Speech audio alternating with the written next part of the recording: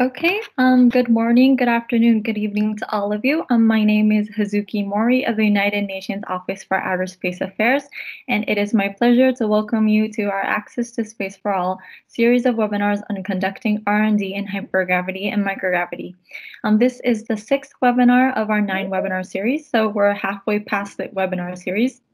And today we will go into physical science, especially into fluid dynamics. So before we begin, I'd like to give you some housekeeping rules. First, please make sure to turn off your cameras and your microphones. Second, please use the chat box to ask any questions. So we will have a dedicated time for Q&A at the end, but you don't have to wait until then. If you have any questions, comments, please make sure to put it in the chat box.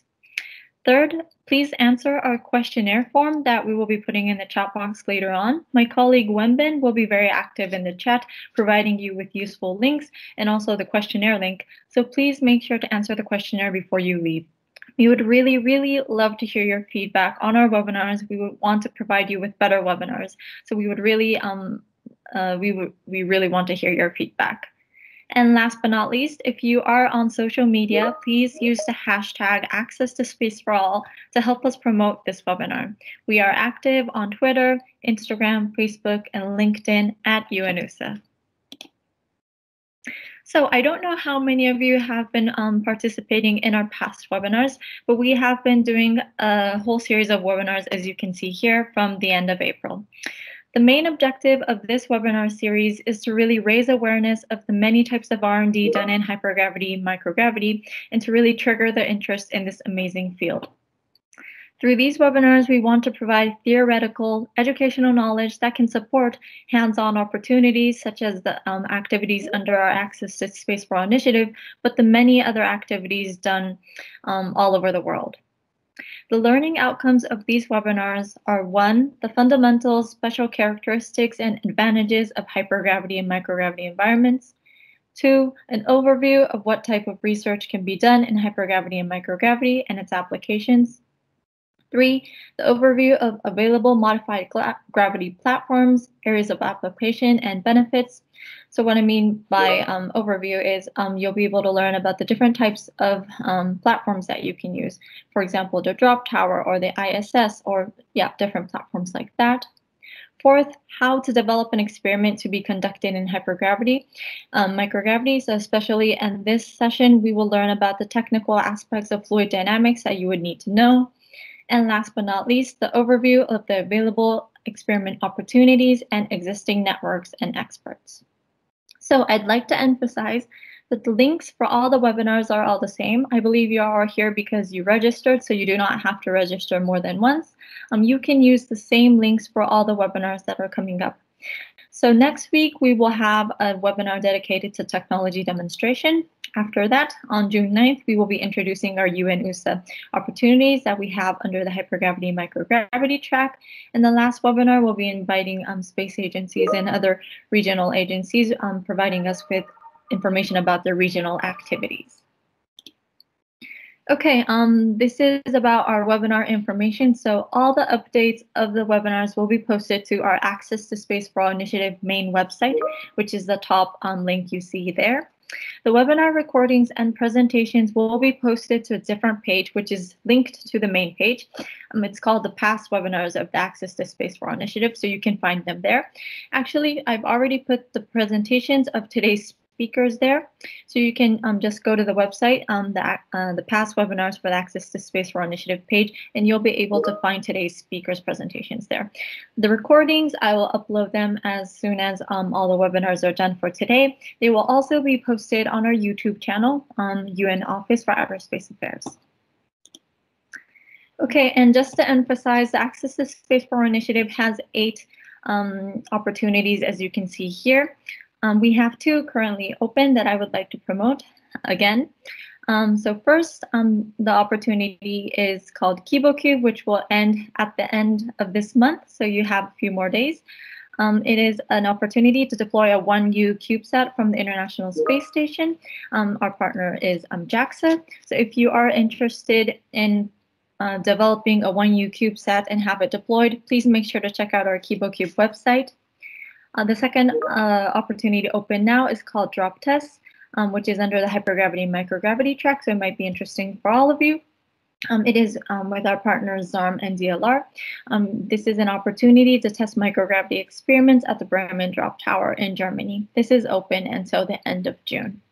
In our webinar on June 9th that we will be um, explaining about our UNOOSA opportunities, we will have a dedicated time at the end to talk about drop tests, especially um, to uh, answer your questions about any technical issues or any administrative issues that you may have when applying to the drop test round. So um, I will update the agenda um, of the webinars later, but um, we will definitely take time for drop tests. So if you're interested, um, please make sure to check the website out, look at the documents, and also send us any questions if you have any. Okay, um, for today's webinar, um, the first session we have is this morning, so 10.30 um, CEST. The first professional talk will be by um, Professor Ryoji Imai of Muroran Institute of Technology and Professor Masato Mikami from Yamaguchi University. So they will be giving us a 45-minute introduction to fluid dynamics research and development. After that, we will have a student talk giving us an example of an experiment, um, and this will be done by Antonio from the Politecnico di Milano. And we will have that for 15 minutes. And then after that, we will have a dedicated Q&A session. Um, just to mention, in the afternoon, we will have the same webinar um, with different speakers. The professional talk would be from um, Dr. Divya Panchanathan from Axiom Space. And for the student talk, we will have um, Alvaro from the University of Colorado Boulder. Okay, so now I'd like to get into the actual contents of today's webinar. So I'd like to introduce to you the first two professors of our professional talk. So um, to introduce first um, Doc, uh, Professor Imai. Um, Dr. Imai is a professor at the Department of Mechanical, Aerospace, and Material Engineering at the Muroran Institute of Technology in Japan. He received a doctorate in Faculty of Engineering Science at Osaka University in 1995. He had been belonging to the Research Institute in IHI Corporation from 1989 until 2014. During his career in, at IHI, he was in charge of research and development on fluid ma management technology in microgravity conditions, thermal problems on propulsion systems, and solving some thermal problems related to the nuclear power plants, LNG plants, and so on. His current research interests are thermal management of cryogenic propellant, propellant management technology under microgravity conditions, and propulsion systems for an unmanned supersonic airplanes. Also, our second speaker is Professor Mikami and Professor Masato Mikami um, from the Graduate School of Science and Technology for Innovation at Yamaguchi University. His research interests are mainly droplets, spray combustion, diesel engine combustion, and microcombustion. His ed educational background is he achieved his PhD in 1995 in Aeronautics and Astronautics from the University of Tokyo, Japan. Um, his professional background has been um, working at Yamaguchi University, but also um, as visiting professor at Yale University. So now I'd like to give the floor to Professor Imai and Professor Mikami. Okay, thank you very much for your kind attention. I'm Ryoji Imai uh, from uh, Institute of Technology. I'm, I'm start my presentation. So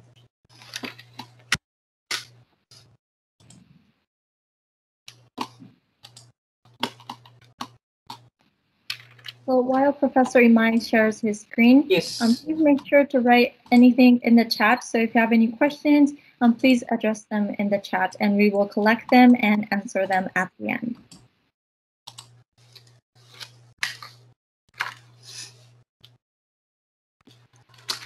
Okay, I'm, I'm, I'm very happy to have the opportunity to give you my presentation in this seminar.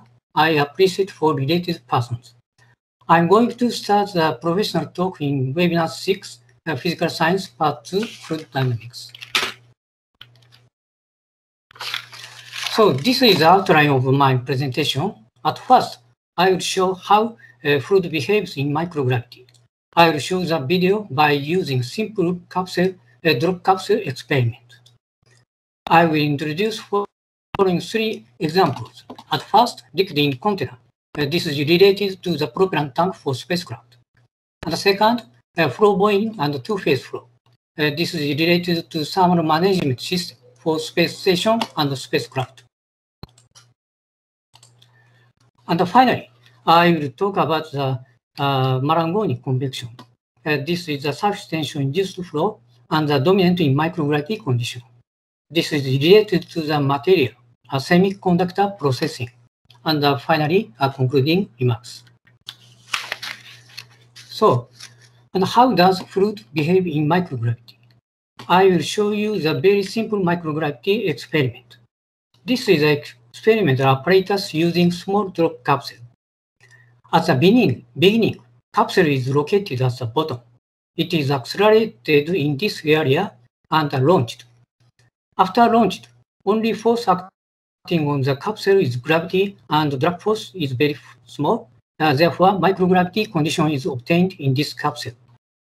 We installed a egg-shaped container with liquid and a small uh, brush bear and oil timer. In the oil timer, a droplet in green and blue colors uh, drop by the gravity. So let's see uh, this under microgravity. So this is an acceleration area, and uh, here starts the microgravity. The how about the uh, liquid behavior and the container and the oil timer. And the second, did you see the behavior and the liquid and the droplet? So, so what can we find in this experiment? At first, uh, float, uh, because there is no uh, weight. And how about in the liquid shape in the container? Liquid in the container becomes round. Uh, this is due to the surface tension. And the liquid in the container climbs along the wall. This is due to the also due to the surface tension, and the surface tension uh, pull up the liquid surface, and we call uh, this phenomena as wetting. How about oil timer? A droplet does not drop and stays there uh, because uh, there is no weight. And if we can see, uh, we see the droplet in oil time uh, carefully, what happens? Uh, this is a video focusing on the behavior of one droplet. At the beginning, a droplet has a deformed shape due to the acceleration in the launching. After that, we can find that the droplet gradually becomes round. Uh, this is also due to the surface tension.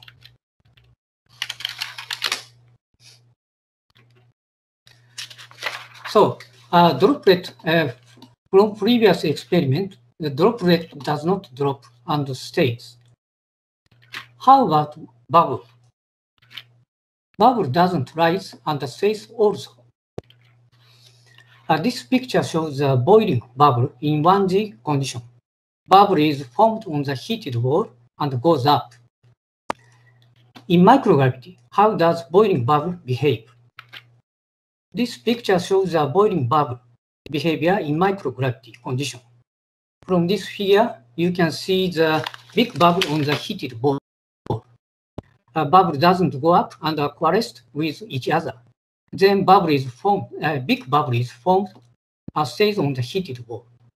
In this case, a heated wall is covered with a bubble, and in worst case, a temperature, a heated wall will increase. How about natural convection? Natural convection is generated by the difference of buoyancy due to the temperature distribution. Of course, in microgravity, natural convection is very weak. However, in microgravity, another kind of uh, convection can be seen. This is the, the, the Marangoni convection, a surface tension induced uh, flow. Generally, surface tension increases with decreasing temperature. If there is a temperature gradient on the free surface, as tension is stronger on the lower temperature portion. Therefore, the flow towards lower temperature portion is created, and this is the Marangoni convection. Marangoni comes from the Italian physicist Carlo Marangoni. So, and the liquid in the container uh, related to the propellant tank for spacecraft. I will talk about the propellant tank for artificial satellite and spacecraft. The, the artificial satellite has some thrusters as, uh, that is small rocket engine to make altitude control. This figure shows the overview of thrusters and the propellant tank system. The propellant tank is operated in microgravity, therefore the location of liquid is unstable. For example, in worst case, the location of propellant is upside down. Therefore, the gas will be discharged instead of the propellant. To prevent this situation, the device which traps the propellant on the outlet even in microgravity, is installed in the tank. This device is called as a propellant management device, a PMD, and this picture is an example of a PMD. So this figure shows the liquid behavior in the gap uh, uh, created by two pieces of uh, plates. In microgravity, a surface tension pulls up the liquid surface and the liquid rides liquid in the gap rises. This video shows the liquid rise in the wider and the narrower gap. You can see liquid rise faster in narrower gap. This implies uh, a liquid tends to gather in narrower space uh, by surface tension. So we can utilize this phenomena in propellant tank. If we uh, form narrower space uh, at the outlet, uh, we can collect the propellant uh, there by the surface tension. Installing this shape of object is one method to realize this. We can make a narrower space here, and uh, we can uh, so and we can call uh, this object as vane. Let's see the behavior in the tank with this vane. here is the tank, and here is the liquid. So in this situation, uh, the green portion is a liquid in boundary condition, and the vane is inserted here. Initially, the direction of gravitational acceleration is upward. So under here, microgravity, the start, liquid goes towards the bottom, go down uh, at uh, the uh, near the outlet. Then uh, liquid trap as the outlet is realized uh, by the surface tension. So this mechanism, mechanism is installed in the propellant tank uh, for the artificial satellite and uh, spacecraft. So next topic, uh, flow boiling and two-phase flow. Uh, previously, I talked about the boiling.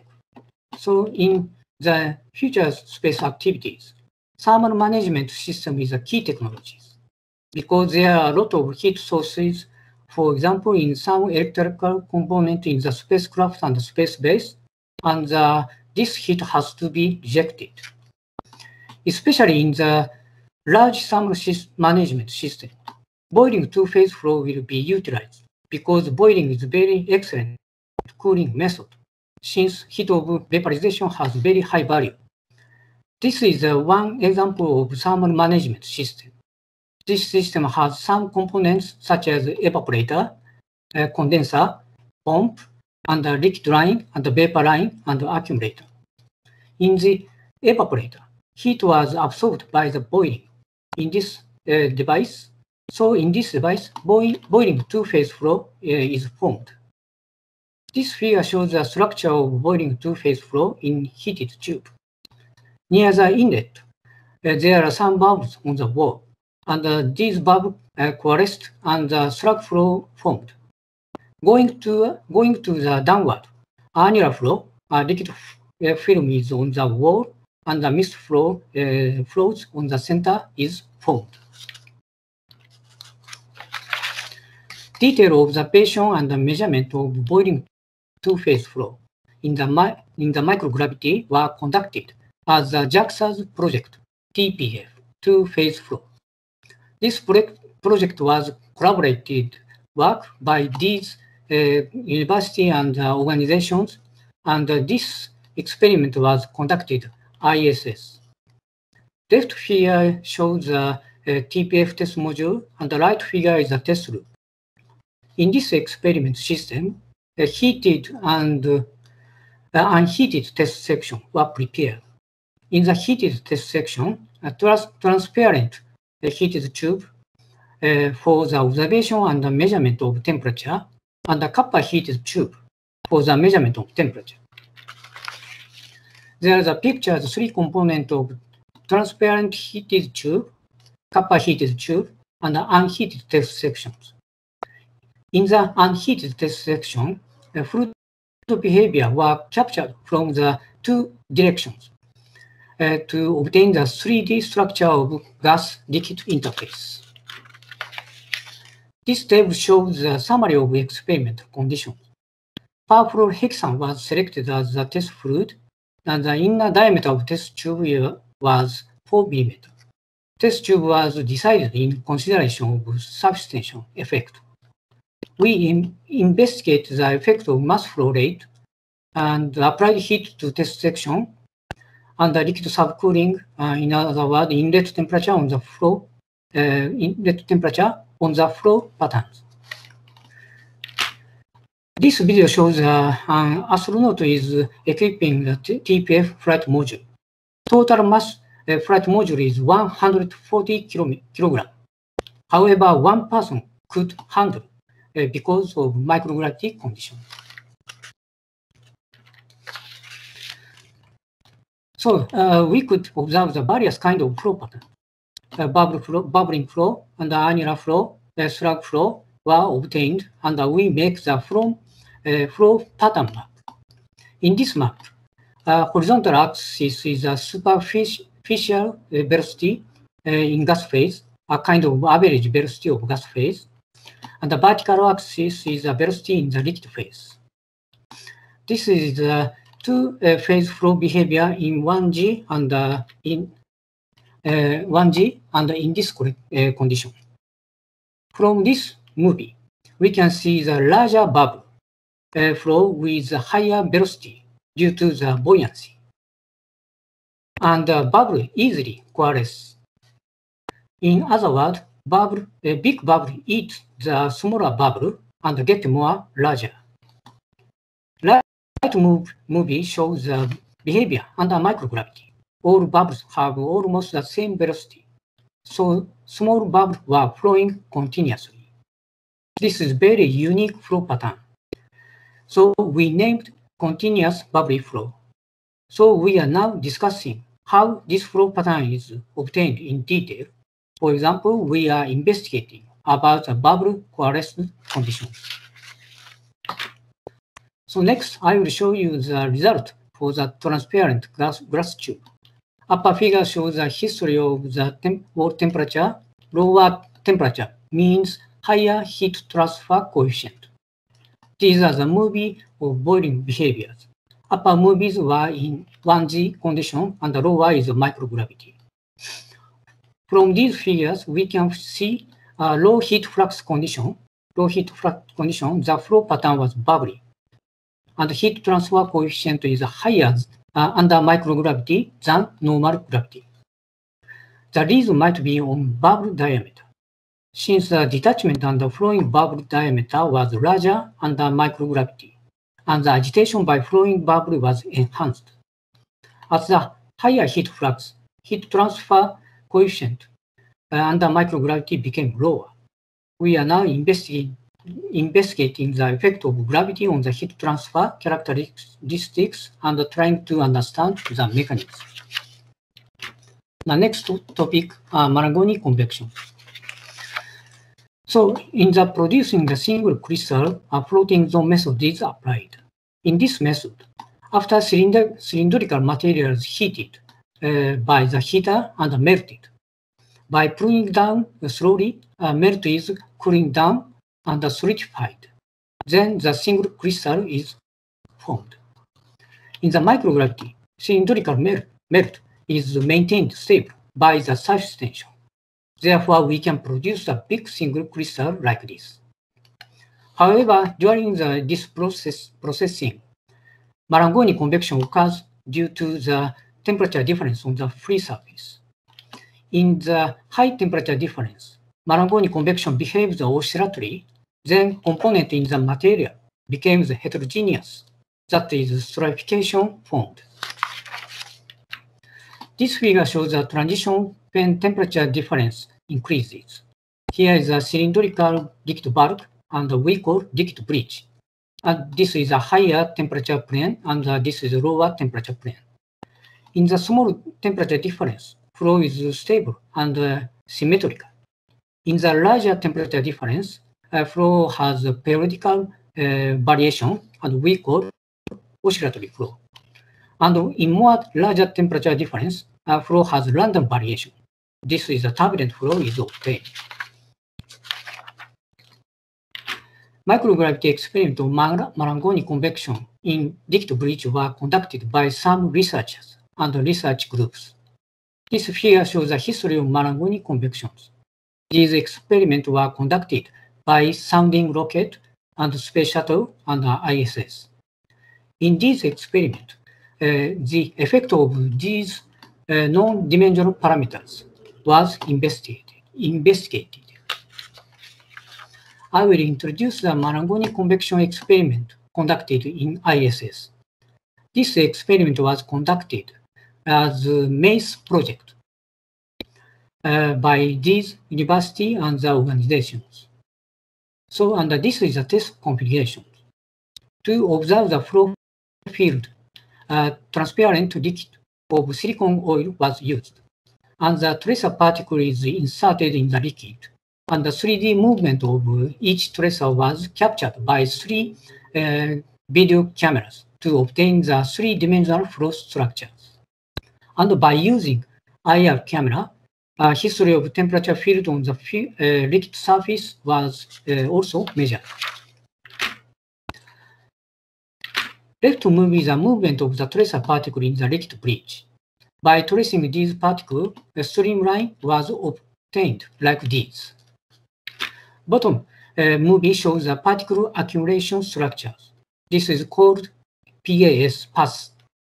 This phenomena has been investigated by many researchers. So experimental result uh, conducted in ISS was summarized as uh, this transition diagram. This figure shows a Prandtl number. A high Prandtl number means a high viscosity and a low uh, thermal conductivity low Prandtl number means a high uh, thermal conductivity, uh, low uh, viscosity. So that's a Prandtl number versus critical Marangoni number. A critical num Marangoni number means from steady to the 3D steady and oscillatory and turbulent. From this figure, a critical Marangoni number increases with Prandtl number. So uh, this is concluding remarks. As a fluid dynamics and microgravity, following three examples were introduced. As there are following subjects, which I could not present today under compressed fluid, interfacial phenomena, capillary flow phenomena, colloid and uh, suspension, uh, suspensions, liquid crystals, forms, uh, granular materials, uh, magnet rheological fluid, polymer fluid, and the thermal and fluid dynamics related to the propulsion system in the future science. So, and finally, fluid dynamics not only contribute to the progress of fluid science, uh, but also closely uh, related to the engineering. Microgravity fluid dynamics uh, is expected to develop further in the future. So thank you very much for your attention. Thank you so much, Professor Mikami, for the introduction and also giving us examples of the different um, activities done in microgravity for fluid dynamics. I'd like to introduce Professor Mikami now. He will be giving us um, more information about combustion. Okay. Can you see my screen? Um, it's loading right now. Yes, we see it. Okay, so may I start? Yes, please. Mm -hmm. Okay. Uh, hello, everyone. Uh, I'm Masato Mikami from Yamaguchi University, Japan. Uh, it's a great honor uh, for me to have a lecture in this webinar.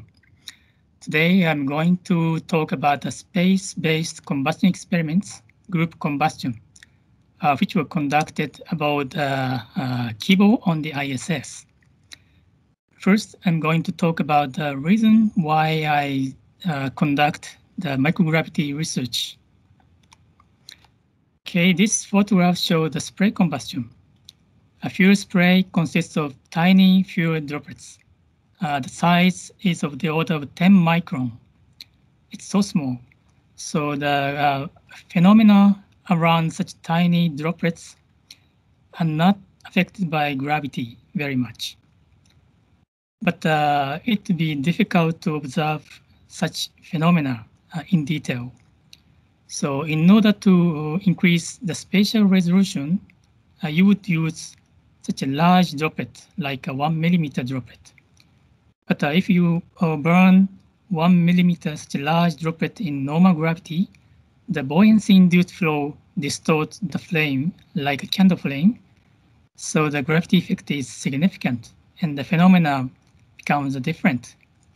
So uh, in order to reduce the gravity effect, uh, microgravity condition is often used. So microgravity is an ideal condition for the combustion research. Uh, in normal gravity, the combustion phenomena are affected by uh, buoyancy-induced flow, and the phenomena beca become complicated. But in microgravity, the uh, without buoyancy-induced flow, so the combustion phenomena uh, become simplified. So, uh, for example, if you burn single fuel droplet in microgravity, you can see such a beautiful spherical flame around single droplet. Uh, in microgravity, even candle flame becomes uh, spherical. I think uh, this uh, spherical flame is so beautiful and always such a beautiful flame fascinates me. And uh, droplet combustion in microgravity uh, give me uh, many, many findings. So that's the reason why I conduct the uh, combustion experiment in microgravity. Next, I'm going to show the outline of group combustion experiments. This is the International Space Station. The astronauts uh, conduct many uh, experiments about the space station. Uh, there is a module, this is Japanese module, European module, American module, and Russian module. Uh, the nickname of the Japanese experiment module is Kibo. Recently, uh, combustion research is hot in space. Actually, the combustion is literally hot. Uh, anyhow, uh, uh, in, for example, in the American module Destiny, about the International Space Station, many uh, experiments have been conducted. And in the Japanese module Kibo on the ISS, uh, two experiments have been conducted, already conducted, and three more experiments are going to be conducted. This slide shows the combustion experiments in Kibo. The first one is group combustion. Uh, principal investigator is uh, myself, Okay, this is a liquid fuel combustion experiment. The title is Elucidation of Flame Spread and Group Combustion Excitation Mechanism of Randomly Distributed Droplet Clouds. Uh, group combustion was conducted in 2017. And the next experiment, group combustion 2, uh, is going to be conducted in 2023. Okay, atomization the principal investigator is Professor Akira Umemura. Uh, okay, the title is a detailed validation of the new atomization concept derived from drop tower experiments aimed at developing a turbulent atomization simulator. Uh, this atomization was conducted in 2018. Okay, the next one is flare. Uh, uh, this is a solid fuel combustion experiment principal investigator is Professor Osamu Fujita. And the title is a fundamental research on international standard of fire safety in space base for safety of future manned mission. Uh, this flare is going to be conducted this year. The last one is L3 flame. Uh, this is a gaseous fuel combustion experiment. Uh, principal investigator is Professor Kaoru Maruta. The title is a low-speed, low-Lewis number counterflow flame uh, experiments for unified combustion limit uh, theory in 2022. Uh, uh, sorry, this L3 flame is going to be conducted in 2022. Okay, this shows the mission patch of my experiment, group combustion. Group combustion was conducted at the first combustion experiment in Kibo. And uh, group combustion was also conducted at the joint research between Japan and the US. Okay, this shows the group combustion experiment module called GSEM. Uh, this is a combustion vessel all the combustion behavior occurs inside the combustion vessel. And the combustion behavior was taken by the digital camera and the high-speed camera. And GSEM was uh, delivered and launched by a Japanese rocket H-IIB and delivered to ISS by Kounotori, Japanese transfer vehicle Kounotori in 2015. And in 2016, the rest apparatus, for example, a high-speed camera, was launched by an US SpaceX rocket and delivered to ISS by Dragon transfer vehicle. Okay, and uh, uh, Professor Takuya Onishi assembled GSEM into the chamber for the combustion experiment uh, CCE and uh, he installed the CCE in the work volume of the MSPR.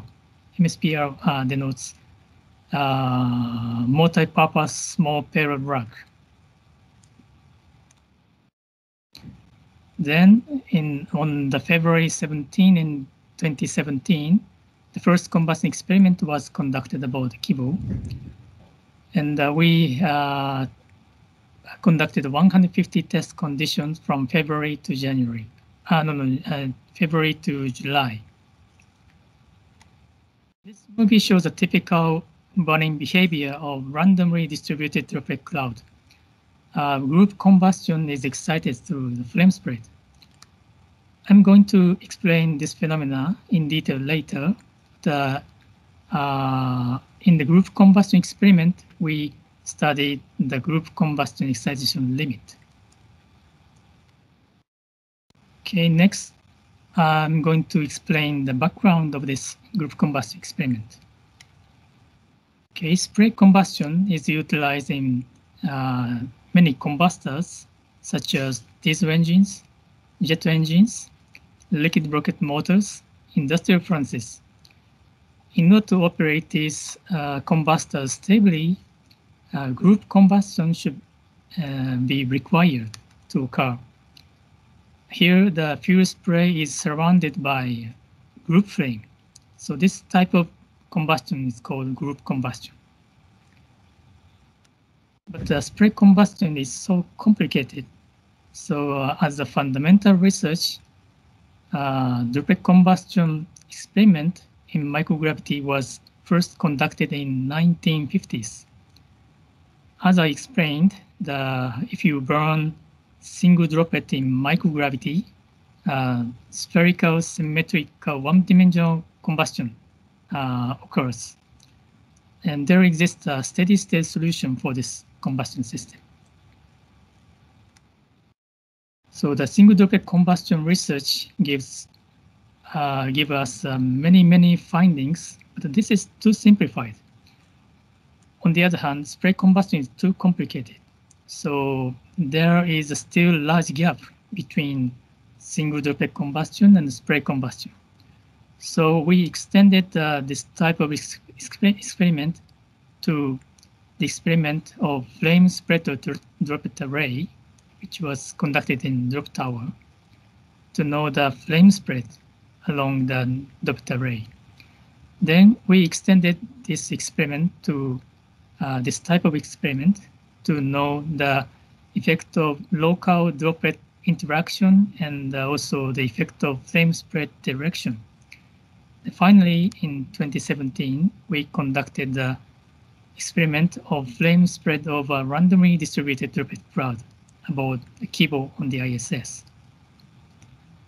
However, there is still a large gap between these two systems. So we introduced percolation model to uh, uh, to reduce the gap between these two systems. So let me introduce the percolation theory next. Okay, here uh, run uh, many particles are distributed on the lattice. Okay, here the uh, here a particle exists next to another particle. So this type type of particle uh, system is called class, particle cluster. Okay, this is P is a, a occupation fraction, which is uh, the ratio of the total number of particles to the total number of the lattice point. So 26% of uh, particle exists on the lattice. Okay, if you increase occupation fraction, the cl cluster size becomes longer. And uh, in this case, the cluster reaches to the top side. And in this case, uh, the cluster reaches to all the sides. So this type of cluster is called large-scale cluster. And this condition is a critical condition. So if you plot the occurrence probability of large-scale cluster as a function of occupation fraction, the occurrence probability increases sharply and uh, reaches to unity. this is a case for the finite uh, size of the cluster. If you increase the uh, size of the cluster to infinity, uh, this curve becomes a step function. So if the occupation fraction less than critical occupation fraction, the uh, large-scale cluster does not occur, always does not occur. But uh, over the critical occupation fraction, the large-scale cluster always occur. So according to the percolation theory, the local connection rule determines macroscopic behavior of randomly distributed particle cloud. Next, uh, we apply the percolation theory to spray combustion. This is a dilute spray. So green dot shows a droplet and the yellow circle shows a flame. So if you ignite the droplet near the bottom, in this case, only partial combustion occurs. But uh, in the dense spray, the group combustion occurs. Uh, occurs. So uh, according to the percolation theory, we can say a local flame spread rule determines macroscopic group combustion behavior of randomly distributed droplet cloud. So the local flame spread rule is important to know the group combustion behavior. This shows the simplest percolation model of flame spread in randomly distributed droplet cloud, considering flame spread limit distance. okay, so if you burn one droplet, sorry, there must be a flame spread limit around one burning droplet. So if the droplet exists inside the flame spread limit, flame can spread to this droplet. But uh, flame cannot spread to the droplet outside, existing outside the flame spread limit distance. Uh, this is a simple, a simplest percolation model, simplest uh, connection rule. So using this percolation model, we calculated the flame spread in randomly distributed droplet cloud. this is the case for the dilute spray. So the droplet spacing is large. Uh, only partial combustion occurs. But in the dense spray, the flame spreads in the straight direction. I like this critical condition. uh, in this critical condition, flame spread behavior becomes very complicated. the flame spread in very complicated paths like a zigzag uh, route. Okay, and uh, the flame uh, spread time becomes the maximum. So as I uh, explained, here the local flame spread rule uh, determine the macroscopic group combustion behavior. So the local spread rule is uh, important to know. I'm going, going to explain the group combustion board Kibo on the ISS. So the flame spread experiment group combustion board Kibo studied local flame spread rule and group combustion behavior. Uh, we uh, use two types of experiment. The first type of experiment use droplet cloud element consisting of five droplets to study local flame spread rule. And second type of experiment use uh, randomly distributed droplet cloud with about 100 droplets to check group combustion behavior and local flame spread behavior. So today I'm, I will show the results for the second type of experiment. uh, this view graph shows a droplet, typical droplet arrangement in group combustion. Uh, black dot are droplets. So we uh, changed the number of droplets uh, from 67 to 152. And we uh, vary the initial droplet diameter from 0.9 to 1.2 millimeter. the normal decane droplet of 1 millimeter, about 1 millimeter droplet are tethered at the intersection of 14 micron SiC fiber lattice. I hope you can see 14 micron SiC fiber lattice through this uh, image. And uh, one droplet are ignited to start a flame spread. So this movie shows the uh, the case for the number of droplets of 152 and the initial droplet diameter of one, about one millimeter. I hope you like this movie. Uh, group combustion is excited through flame spread. Okay, this is for the case of the number of droplets 102.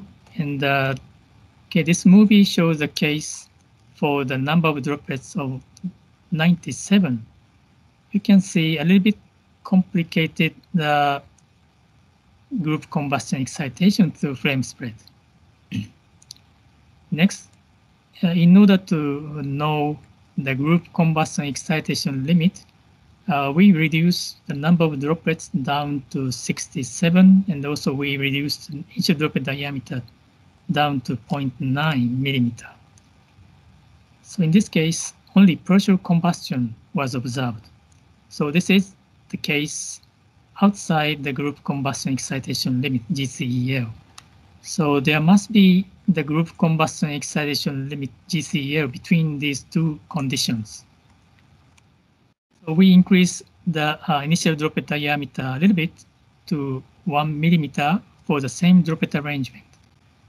So this is uh, uh, the case near the group combustion excitation limit. You can see a complicated flame spread. And also you can see a large scale ignition. This is an unexpected anomalous combustion. Okay, you can see a large scale ignition here. And uh, this is uh, this shows another anomalous combustion behavior. We call this a slow flame propagation in burned area. Okay, this center area, uh, flame uh, passes the center area. So this is burned area, but flame propagation occurs. So this is anomalous, another anomalous combustion behavior. So in summary, uh, we successfully conducted group combustion experiments about the Kibo on the ISS. Uh, group combustion is excited through flame spread. And the flame spread behavior is sensitive to the initial condition uh, near the around the uh, group combustion excitation limit.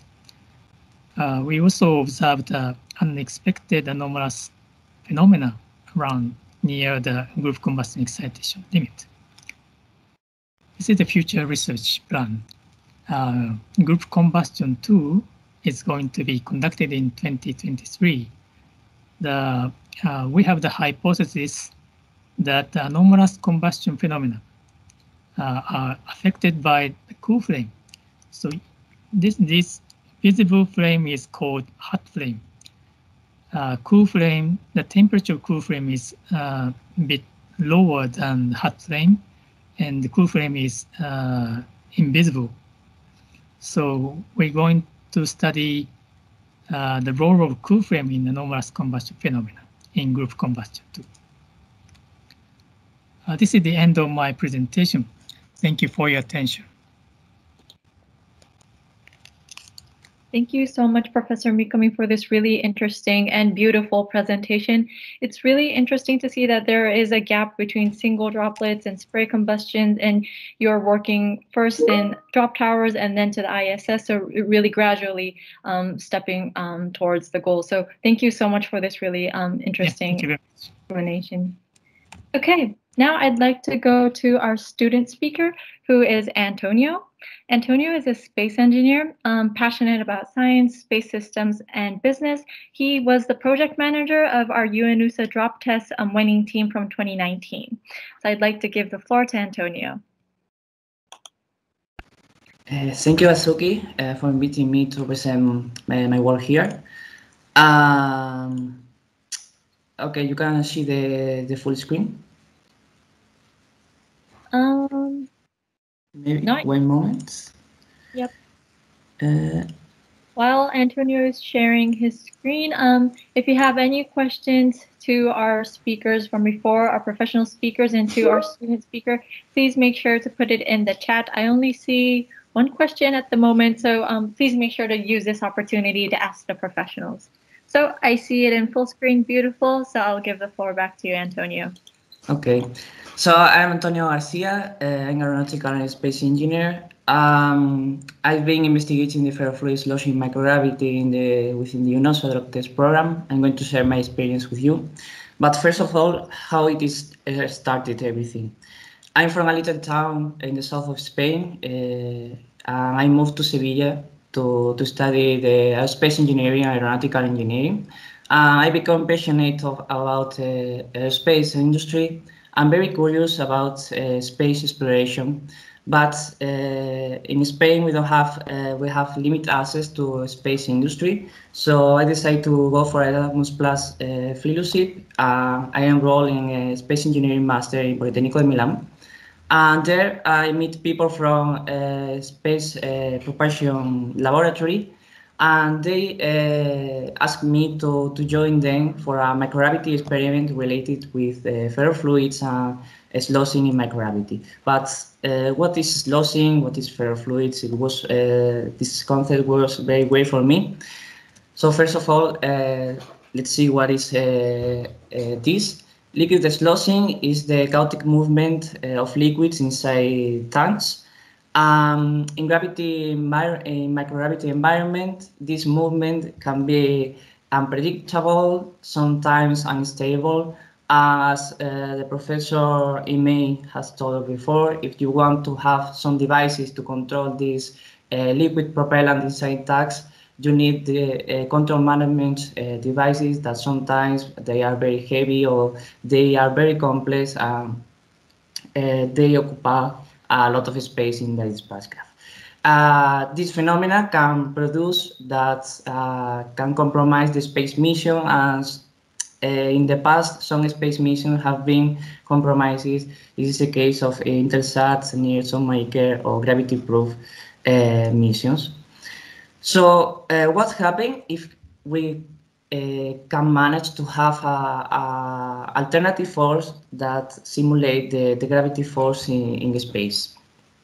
Well, if we manage this, uh, maybe we have a movement which is more predictable, more stable, and maybe we can uh, avoid these uh, heavy control devices or even uh, replace them by other things. Uh, this was the idea uh, that motivated a previous experiment.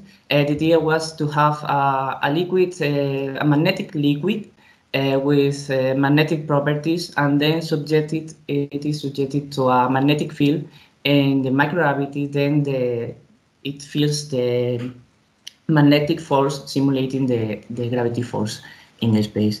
there was a previous experiment. They moved the liquid up and down uh, to see the behavior and study the behavior, and they get some conclusions. However, the, there were some discrepancies in the frequency and, in the result they got. So uh, it was needed more experimentation and also uh, uh to to further uh, explain the behavior. We wanted also to to experiment the, the liquids in another movement like laterally. So this was the, the motivation that uh, we went for the for the UNOOSA project. And uh, we finally got for the UNOOSA drop test uh, program.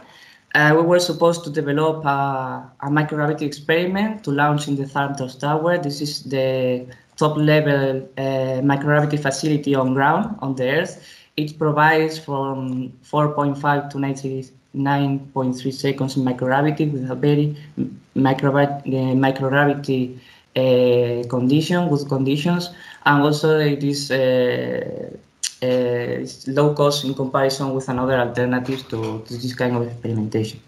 So we made a, an international team. We were four, four students from Spain, France, and Italy. Uh, we, were uh, we we were based in Politecnico de Milan uh, in the uh, Space Propulsion Laboratory, and there we we were uh, starting uh, to building our experiment. We wanted the the liquid to move laterally during the launch, but it, it was uh, this is not an easy task. Uh, this is a very complex, and then we have to develop a complete experiment setup to to accomplish with the scientific requirements of our experiment. Also, we have to accomplish with the technical requirements of the experiment on the of the drop tower uh, center. So we designed this uh, experiment setup, which is composed by different subsystems. For example, we have the actuation subsystem, which is in charge of moving the, the containers of the liquids laterally. We have the detection subsystem, which is in charge of recording all the metrics and all the uh, the surface um, and the liquid during the launch. And we have the magnetic tissue system that is in charge of providing the, the magnetic field uh, to the liquid. Um, this was a, a, a very uh, hard work uh, that we had to do. Uh, we had the opportunity to put in practice a lot of things that we had learned uh, during university, but also to learn about new things. For example, myself, I learned about uh, Arduino electronics uh, to provide the uh, to engine the, the actuation system, also to to program all the sensors uh, which uh, compose the detection system. I also learned about uh, modeling 3D programs to design the structure and also the detection head, which is the one you can see in the in the right top. And also I learned how to print in a 3D printer to, to have the experiment finally. Meanwhile, we were uh, developing this experiment. We also had a, a good uh, public impact. Uh, we appear and we share our work in different newspapers in Spain and also in different social media uh, accounts uh, in France and Italy. Uh, we also had the opportunity to assist uh, to some conference to explain our work. I had the opportunity to, to go into to Granada to the ELGRA Symposium General Assembly. Uh, this was sponsored by ELGRA, SILGRA, and the ESA. ELGRA is the European uh, Low Gravity Research Association, and SILGRA is the student section of the uh, association. And we had the opportunity here not only to share our work, but also to meet uh, people, great professionals from, from this world. Uh, it was very curious because it was not only related with fluidodynamics, but also with uh, medicine, biological aspects, and so on. Um, I meet a guy, for example, that was investigating and was researching about the effect of music, which kind of music listen the the astronaut and how it impact to the stress levels and so on. It was very interesting. Um, and then uh, after one year, we had our experiment uh, finished. So we went to, to Bremen, to the third drop tower. We finally assembled there uh, our, our experiment. We meet uh, the ZARM engineers. They were very professional with us. They teach us a lot. And they teach us how to finally assemble and launch the, the capsule in the video you can see how the capsule is uh, put inside the tower and then launched in the launching room. So you can imagine, or maybe not, how it is uh, after one year or, or, more of working and designing your experiment, you have 9.3 seconds of microgravity. Uh, these are microgravity seconds, but there are seconds, less than a minute. So we were very excited to see the, our experiment be launched in the in the control room. Um, I'm also very excited because uh, I'm worried because uh, it was subjected to uh, large loads that we cannot test before. So maybe the experiment crashed in the first uh, in the first launch. Uh, here you can see the experiment uh, itself uh, during the launch. Uh, it could have uh, crashed, but if it wasn't well designed, but in fact our experiment was very well designed. It withstands the four drops, and we get a lot of data of the surface to to laterly extract some conclusions. Uh, and then uh, the post campaign, we have the this is the uh, our capsule, the, the experiment, we had the container, inside the container we had the, the liquid which was moving uh, during the flight. So we was uh, able to reconstruct the liquid movement during the flight and then analyze the frequencies, then analyze the, the movement. And then we, we have analysis and make some conclusion of the work. And finally, we, we got some publications in journals and also in conference. This is how the, the work uh, concludes.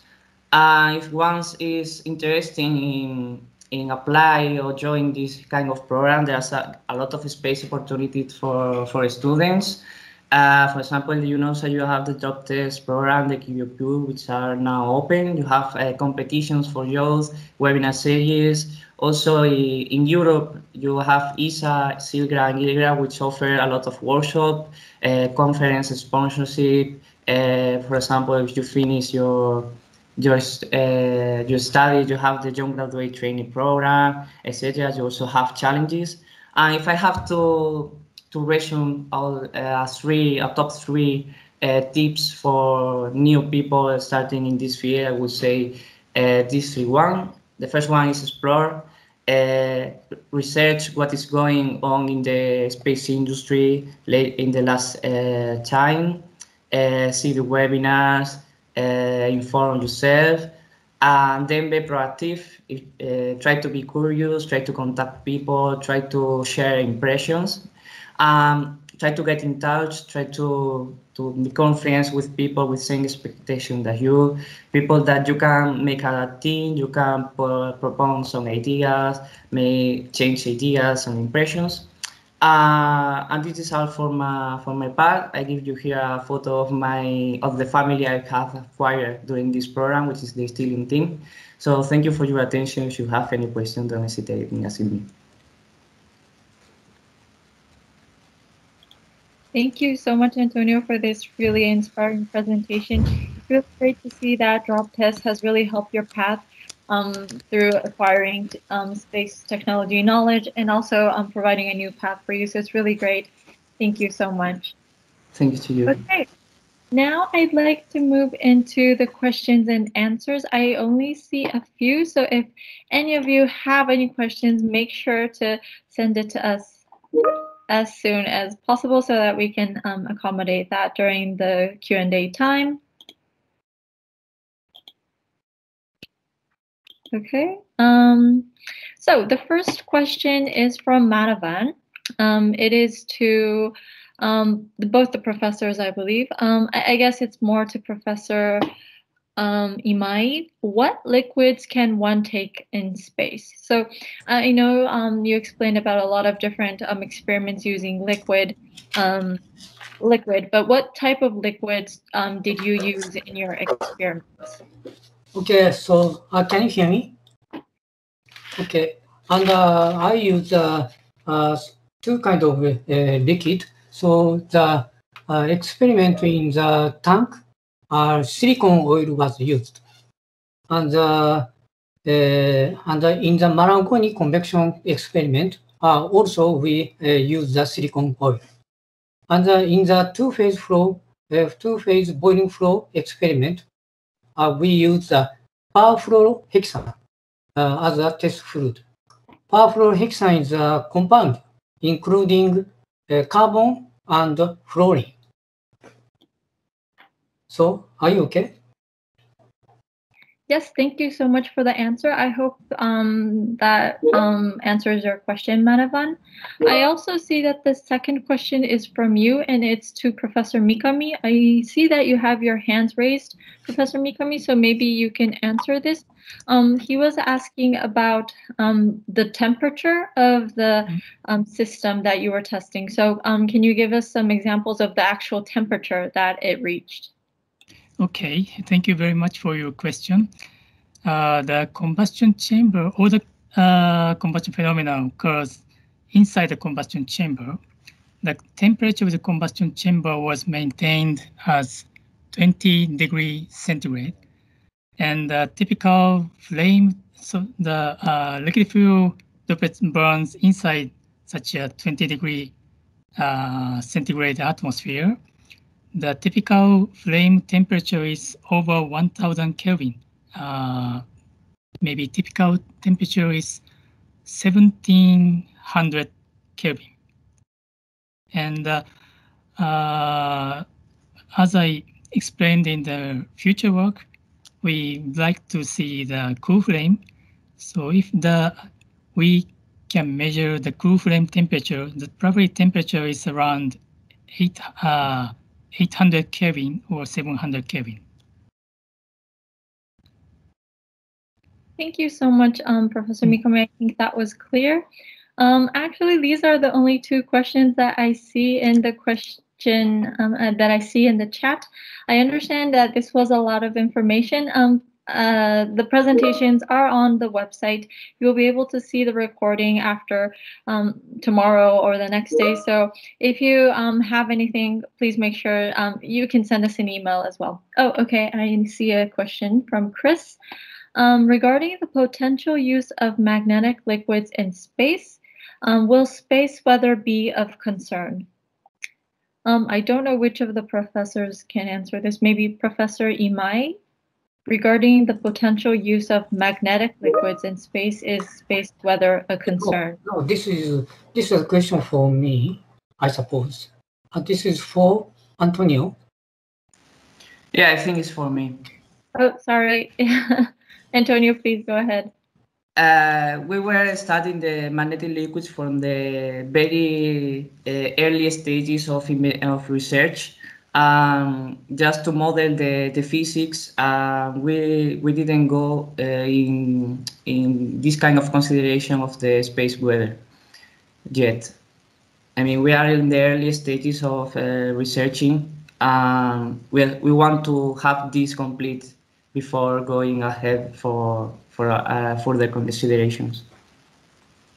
In fact, uh, uh, it can it can affect the space weather but uh, as we have the magnetic fields uh, sources inside the spacecraft, the magnetic field that creates these sources is very large uh, in comparison with the with the other that can have uh, when the spacecraft is orbiting. And also, you uh, you can imagine that the the magnetic field that the large magnetic field in, in which uh, all the experiment it is, uh, it is quite uh, constant in all the the spacecraft, which is very small in comparison with this with this magnetic field. So I think I hope that you I can answer your question.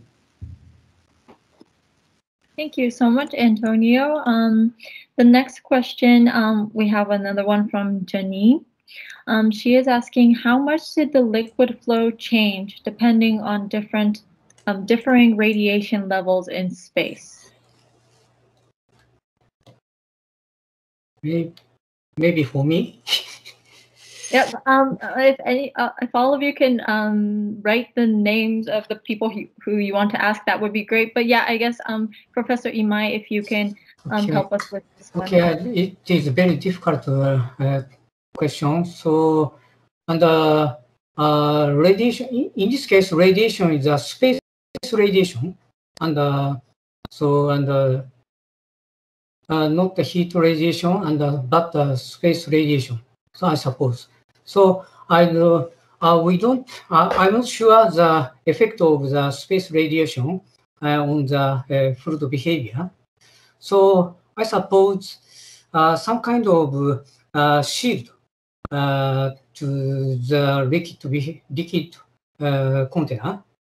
So uh, I'm I'm not sure I'm not sure the uh, in detail the effect of space radiation on the uh, fluid behavior. Okay, so now I'd like to introduce Divya to the floor. Um, I'm going to give you more information about Divya. So Dr. Panchanathan leads the business development for material and physical sciences within Axiom Space in space manufacturing and research team. She obtained her bachelor's degree from IIT Madras and her master's and PhD degrees from MIT in the field of mechanical engineering with a research focus on interfacial science. Her prior academic and industry projects include aerosol filtration for fume applications, droplet levitation using the Leidenfrost effect, drag reduction using super hydrophi- hydrophobic coatings, and oily water filtration using cataly- catalytic coatings. Um, she will definitely be able to give um, a better um, introduction of herself to you. So I am going to give the floor to Dr. Divya Panchanathan. Thank you, Hazuki. Um, let me first share my screen.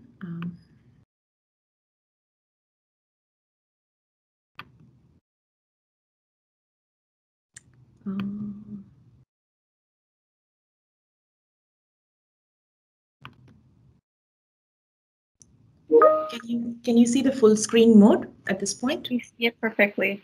Okay, great. Um, uh, good morning and good evening to everybody on the call. Uh, and I, I'd like to begin by uh, thanking the UN Office of Outer Space Affairs for uh, inviting me uh, to give this webinar talk.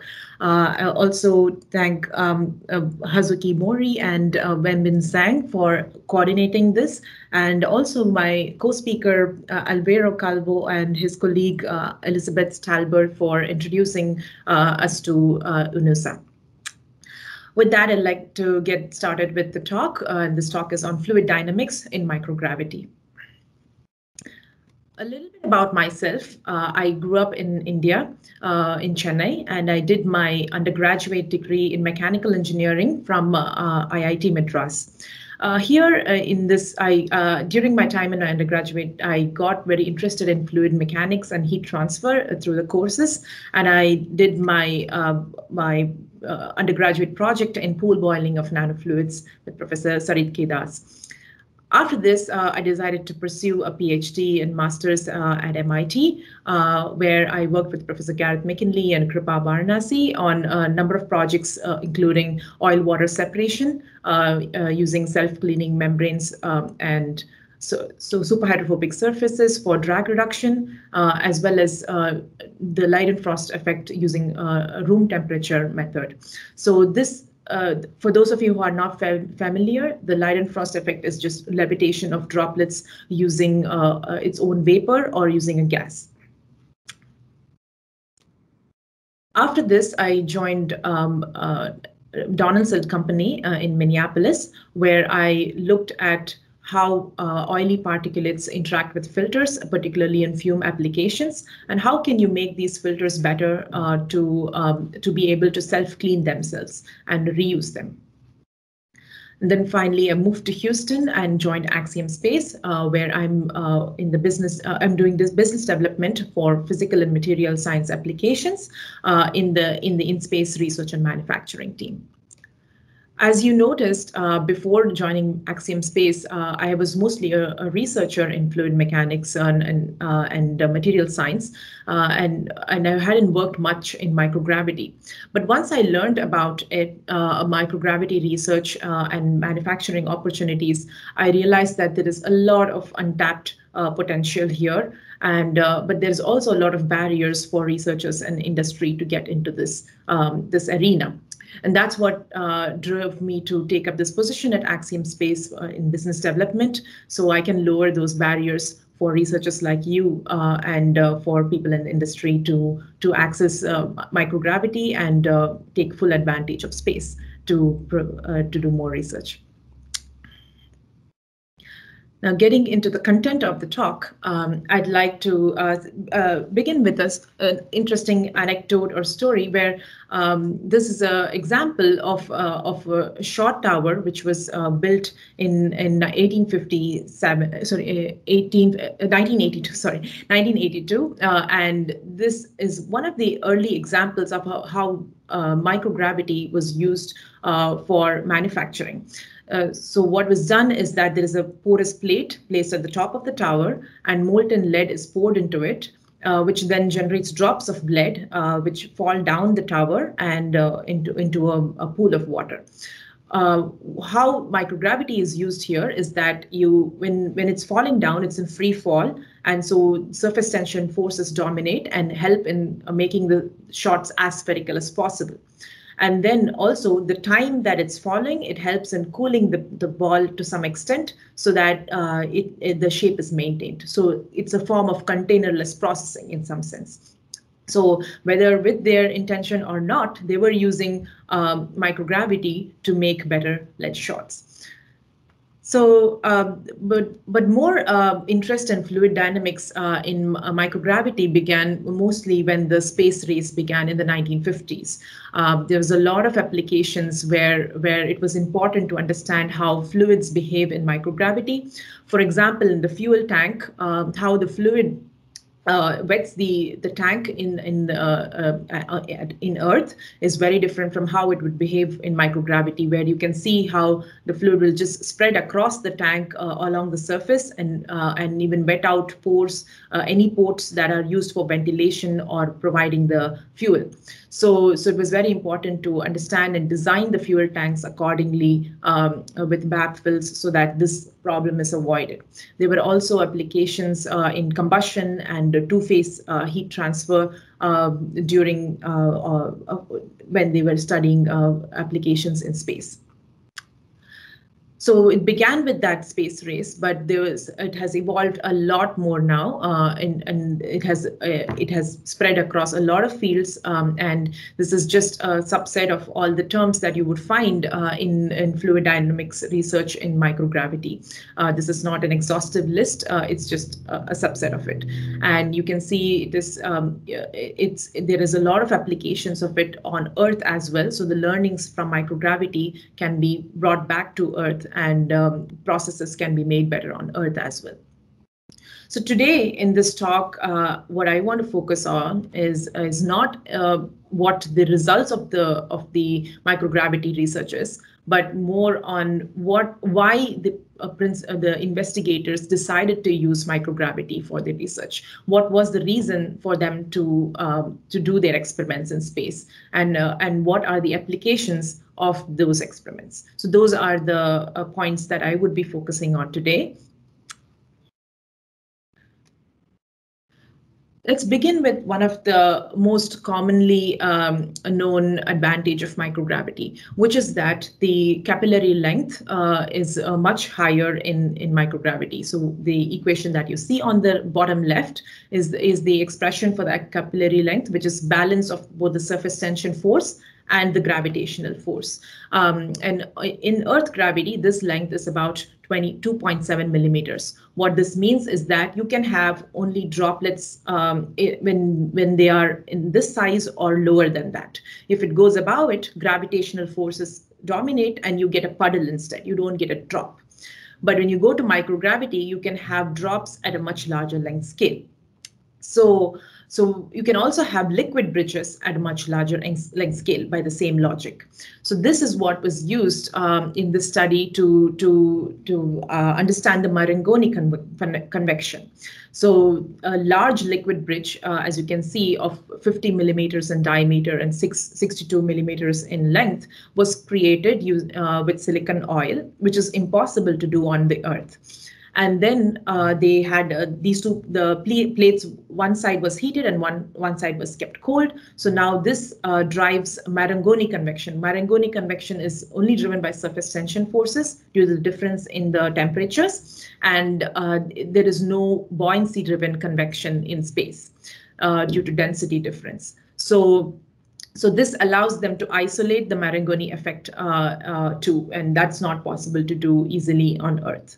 So using these two um, advantages, they were able to study uh, or uh, the the uh, the behavior of Marangoni convection when you increase the temperature uh, difference between the plates. And what you see is there is initially a steady state, and then it goes into an oscillating flow there's a, the main advantage of studying this is that uh, there is a lot of research into making crystals in space um, and using something called the float zone method, which is very similar to what is being shown here, uh, except that this silicon oil would be some molten semiconductor. And they would crystal uh, they would slowly solidify that semiconductor to create very pure crystals without defects and uh, it's important to understand the uh, Marangoni effects uh, in that case, and that's that's one of the motivations to do the study. Along the same lines, uh, when you increase the when you increase the length scale of the of the drop, uh, you can also increase the time scale of uh, phenomena happening at the drop scale. So the inertial uh, capillary time scale, uh, denoted by this expression on the bottom left, uh, is a function of the radius of the droplet.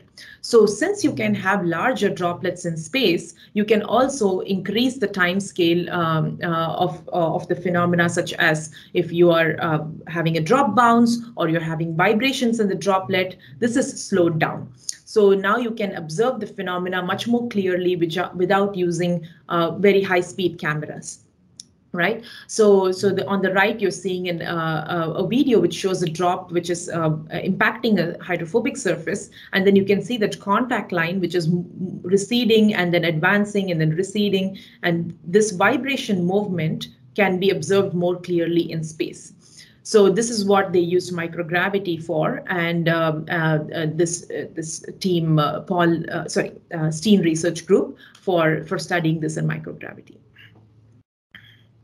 And you can see the applications of this, understanding this is, is on self-cleaning surfaces, water harvesting devices, and anti-frost coatings.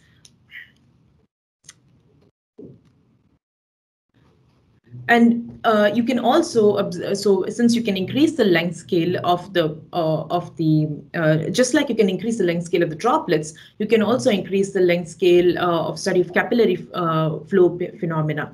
So if you in, on earth to have a uh, capillary flow you need very small tubes like less than a millimeter in in diameter. But you can make those tubes bigger in space and still study the same phenomena here, uh, they what they are trying to study is uh, is how um, the uh, a drop would impregnate uh, pores uh, in in a porous uh, media when it's brought into contact with it, and this happens very quickly on Earth.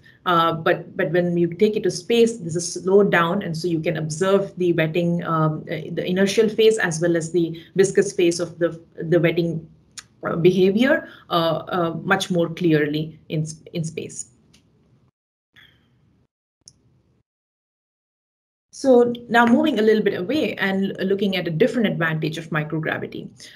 On Earth, uh, you because of the gravitational force, usually you you design your uh, you know fluid flow cells in the cylindrical geometry or a rectangular geometry because you have an asymmetry in the acceleration due to gravity.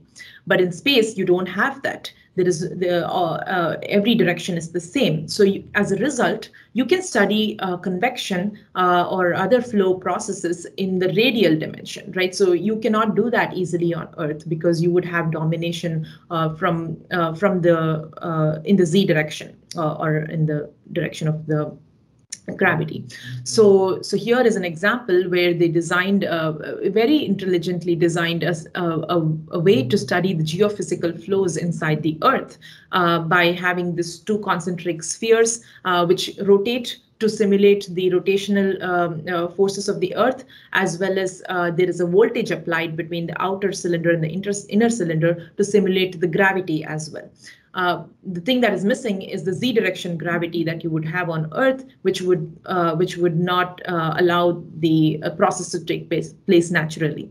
So this uh, this is a study where you can use the radial symmetry to to study phenomena um, that that need it. Another advantage of microgravity uh, is uh, is how it, it you can uh, separate the effects of agglomeration from sedimentation. So this is moving a little bit into studying complex fluids uh, or particle suspensions. So on in Earth gravity, when you have particles of different sizes, uh, you would see that there would be automatic segregation. The larger particles would go down and the smaller particles would remain up so this this will not happen in uh, in microgravity. Uh, all the particles would be uniformly dispersed.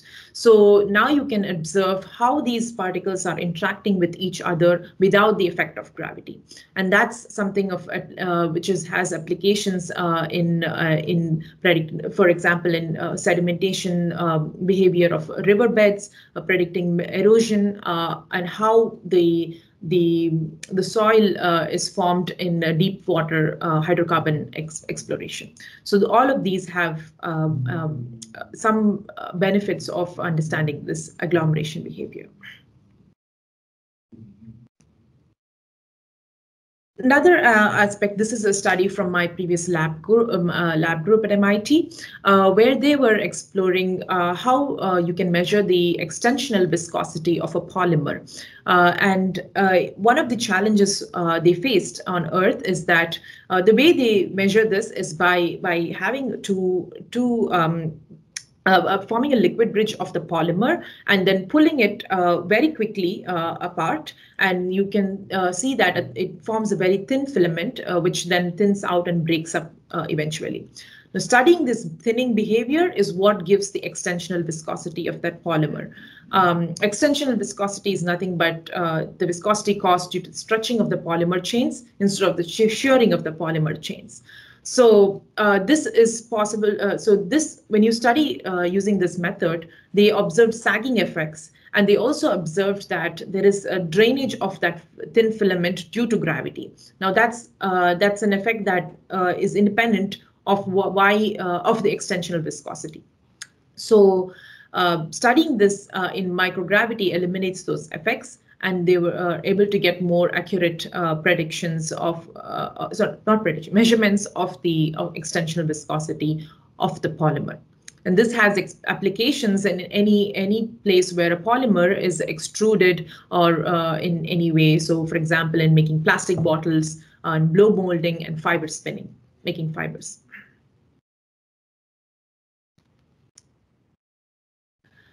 Another example where particles, um, uh, you, uh, you, know, complex fluids and particles have an advantage is that uh, you don't need to do density matching uh, to, to observe phenomena. So for example, if you need to observe large colloidal particles on Earth, you will have to typically do density matching so that they don't settle out. And in this particular case, uh, where they wanted to study uh, how particles self-assemble in the presence of a vibrating field as well as a temperature uh, uh gradient, um, which are applied perpendicular to each other, they found through simulations that you can you can form uh, particle structures um, uh, when you do uh, apply this field. But a condition for that is also that you should have the particles to be a different density from the liquid medium. If they are the same density, then this will not work. So this, this is why they went to microgravity to try out the experiments to prove um, their simulations. So this is an advantage that you can think of as well. Uh, I also wanted to highlight something about in-space manufacturing. Uh, there's a lot of work going on in in order to um, to do uh, in-space um, uh, manufacturing of space structures, and uh, even using traditional manufacturing methods like brazing, welding, 3D printing, and uh, one of the things that's different in microgravity is that the way the liquid metal wet, wets the uh, solids would be very different. So studying that is important as well, uh, and also the way the the grains grow as well as the the pores. Sorry, the bubbles that are created uh, behave uh, would be very different in microgravity. So there's another reason to to do microgravity studies for in space manufacturing applications.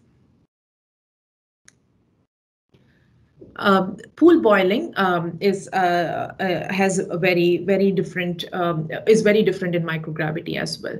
So on the right, you're seeing uh, image of how boiling looks like in uh, in Earth gravity as well as in microgravity. In microgravity, you would have uh, the bubbles have no reason to detach from the surface, and uh, and and so instead they would just coalesce to form a single large bubble, which which may or may not detach from the surface. Uh, and in case of hydrophobic surfaces, the vapor would tend to wet out the surface very easily as well. So there is some interest uh, that to study this in microgravity because, as I mentioned earlier, uh, many spacecraft systems need uh, cooling systems that use two-phase heat transfer. So to understanding this is very important. In this graph that you see um, uh, of the heat, uh, uh, critical heat flux versus the gravitational force, you can see that when you go to lower gravity, you you get surface tension boil, dominated boiling, while at higher gravity you have uh, you have uh, buoyancy dominated boiling. What is interesting about this is that um, you it's not just a lower gravity that you have surface tension uh, boiling. When you go to lower length scales, uh, even in Earth gravity, you have surface tension uh, dominated boiling. So uh, so, uh, so for example, in your phones or uh power electronics, where there is the the size of the chips are getting smaller and smaller, one of the biggest challenges they're having is how do you dissipate the heat that is created um, in these electronics? Uh, so that and uh, when you go to such small scales, it's surface tension dominated boiling that happens when you look at cooling cooling these devices. So for understanding and making these processes better, it's easier to study them in microgravity because you can study this at a large, larger length scale using larger heaters, as you can see in this um, in this equation on the left. Um, to study the same thing in Earth gravity, you need to use heaters which are less than five millimeters in diameter. Uh, but but in Earth uh, in microgravity, you can go to uh, centimeters of the size of the heater. So that's an advantage that you can look at in microgravity as well. But then I wanted to uh, highlight that there is it's not just academic uh, uh, studies that are done in microgravity. There's a lot of studies done by even industry to enhance their applications and uh, apply them to their processes. So uh, one of the um, um, uh, studies that I want to highlight is the Delta Faucet. Um, they they make uh, a lot of um, a lot of equipment for restrooms, for example, and they uh, they, they studied how droplets are generated in microgravity to improve their shower head uh, that they're selling on the earth. Um, the reason that they went to uh, microgravity is because the way the droplets detach from the uh, the, the nozzle uh, is dependent um, on gravity as well. So you the size of the droplet is limited because of that reason. So they went to microgravity to study, hey, what is the ultimate limit of their shower head without the limitation of gravity? And then it informs them how they can uh, influence their design back on Earth or whether they can improve it uh, further. Procter & Gamble uh, is also uh, another example which used uh, microgravity to study the sedimentation behavior of gels. Um, so they they what they did is they had a suspension of uh, oil droplets, uh, large oil droplets in uh, in a network of small nanoparticle um, su suspended in a liquid, and this uh, kind of system on Earth would very easily, uh, you know, separate on uh, separate out um, before they can study anything. Over here in microgravity, they were able to observe how this gel-like network was able to sustain uh, and how the coalescence works uh, for the different oil droplets without the effect of microgravity. They also supported another work, which is very interesting, uh, where they uh, looked at uh, phase separation in critical fluids. Um, in uh, critical fluids are nothing uh, but it's a phase where you don't have the liquid, solid, or the gaseous phase dominating in, in the fluid. And this happens at a certain temperature and pressure for every fluid on Earth. Uh, and this is happening at the atomic scale right? So it's the molecules that uh, how they are vibrating and uh, uh, crystallizing is dependent on uh, how uh, on the temperature and pressure. It's very difficult to observe that phenomena at the atomic scale on the uh, in the Earth.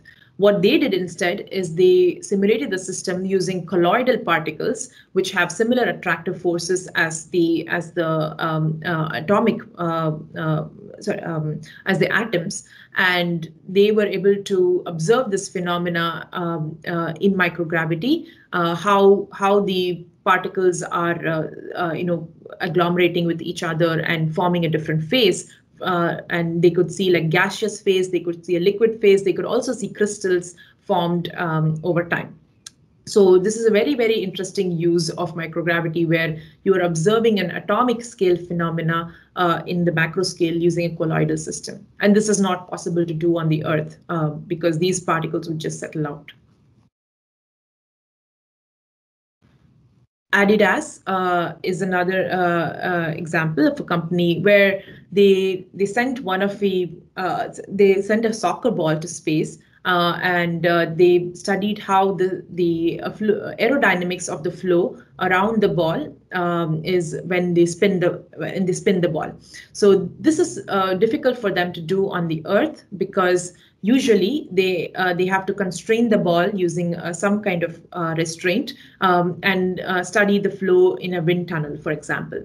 So this kind of restricts the movement of the ball and uh, maybe uh, influences some in some way how the air is flowing around the ball. So they used microgravity to make sure that they don't have to do too much restraining of the ball while they're studying the aerodynamics.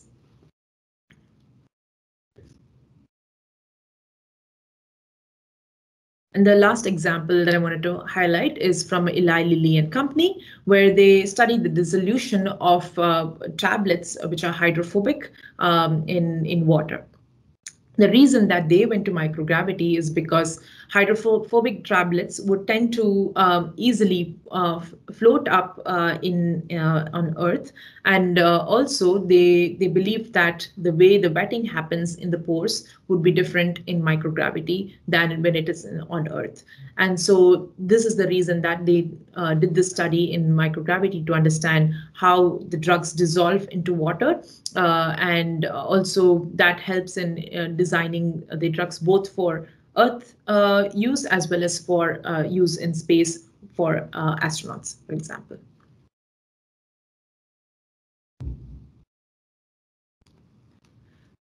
So I'll leave you again with this slide where uh, where I highlighted the different examples uh, and in, in the different ways that researchers used microgravity. So usually people talk about no sedimentation, no buoyancy, um, and containerless processing. But it's very, very interesting to see how you can be creative and use the microgravity environment in different ways to support your research uh, and further the understanding.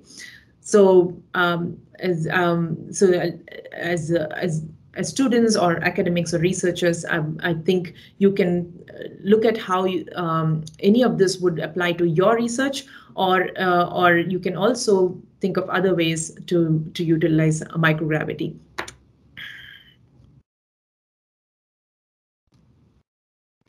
With that, I'd like to highlight uh, the, some few microgravity facilities that are available to do fluid dynamics research.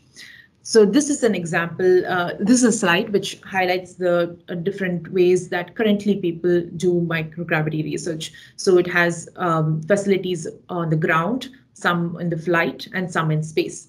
So the main difference between them and how you should evaluate what you need for your research is looking at the duration of the uh, uninterrupted microgravity that you would have, uh, the quality of the microgravity that you would have, and whether you, you need crew, crew tending for your research.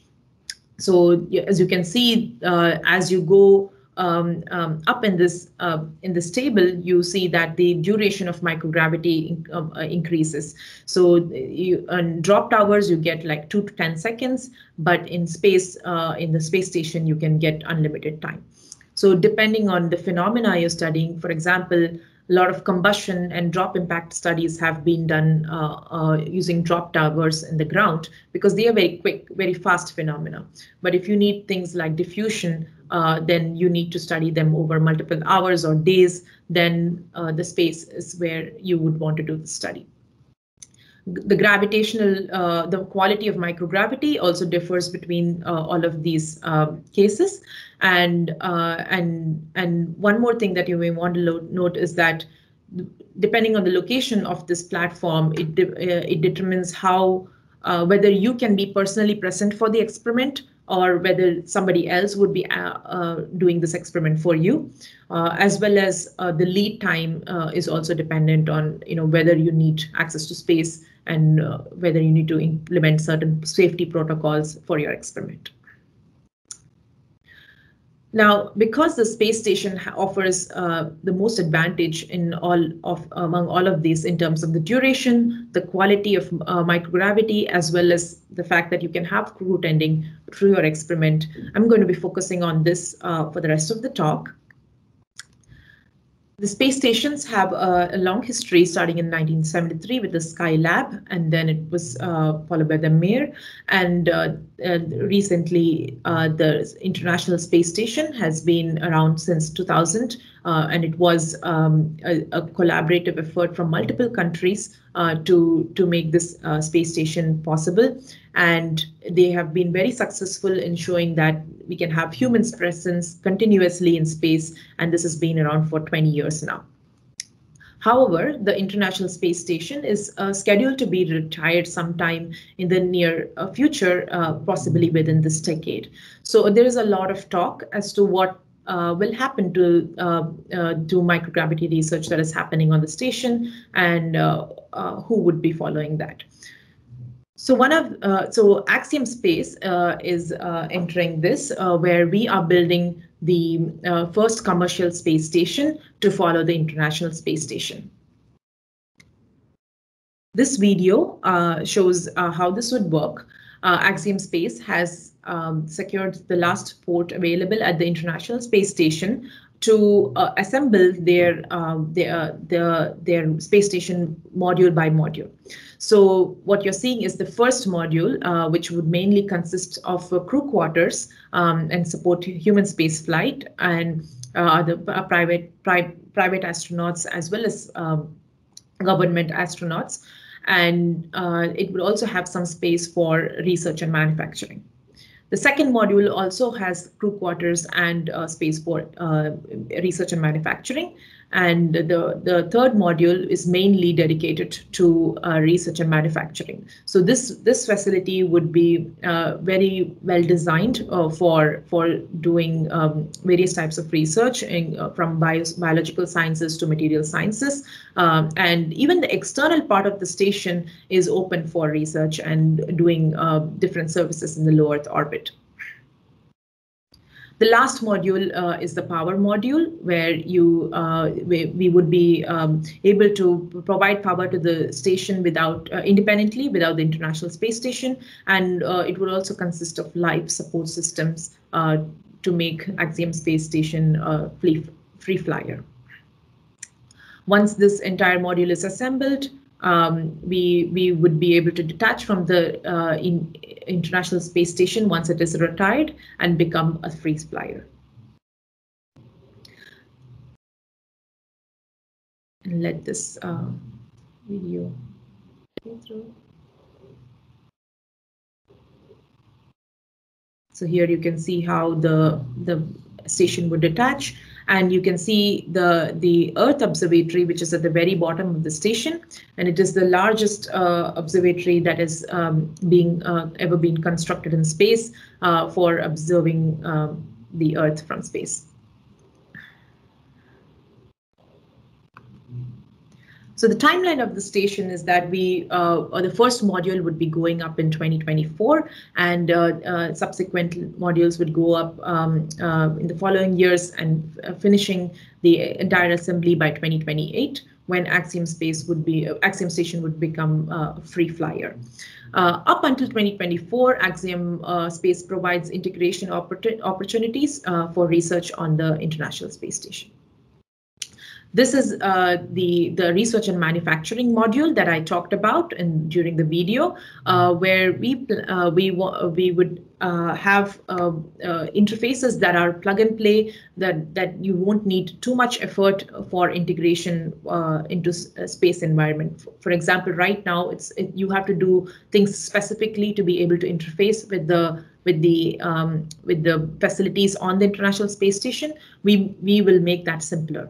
And also um, we have crew tending and uh, state-of-art characterization facilities and other utilities that you need for your research.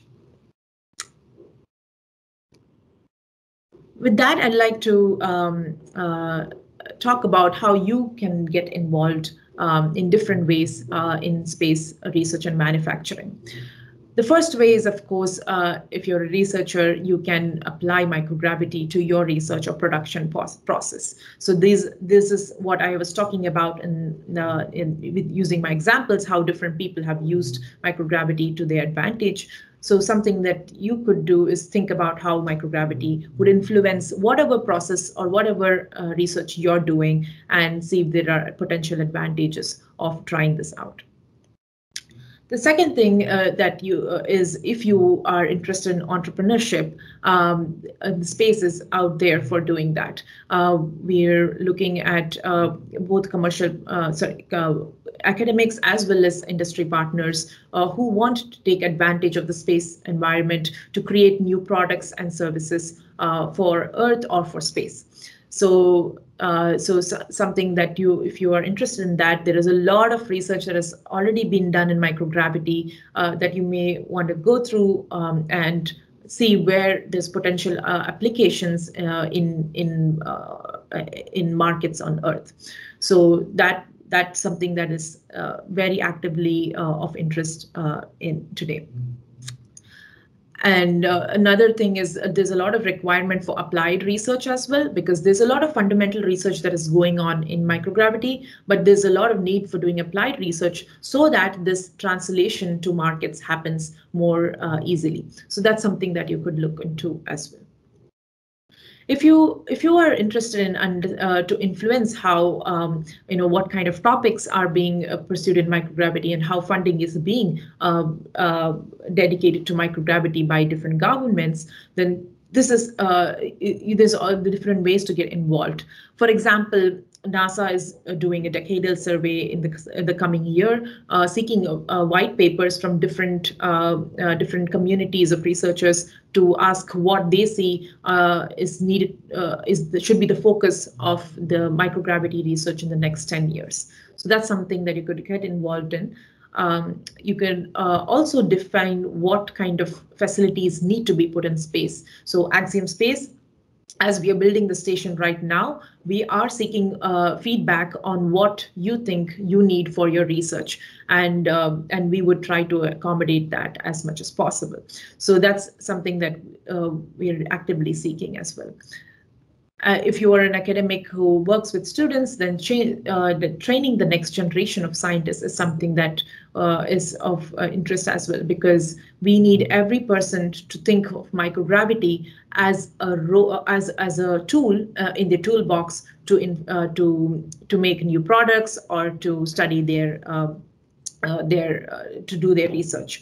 So this is something that could be included in the curriculum to to make sure that everybody is aware of this and takes advantage of this.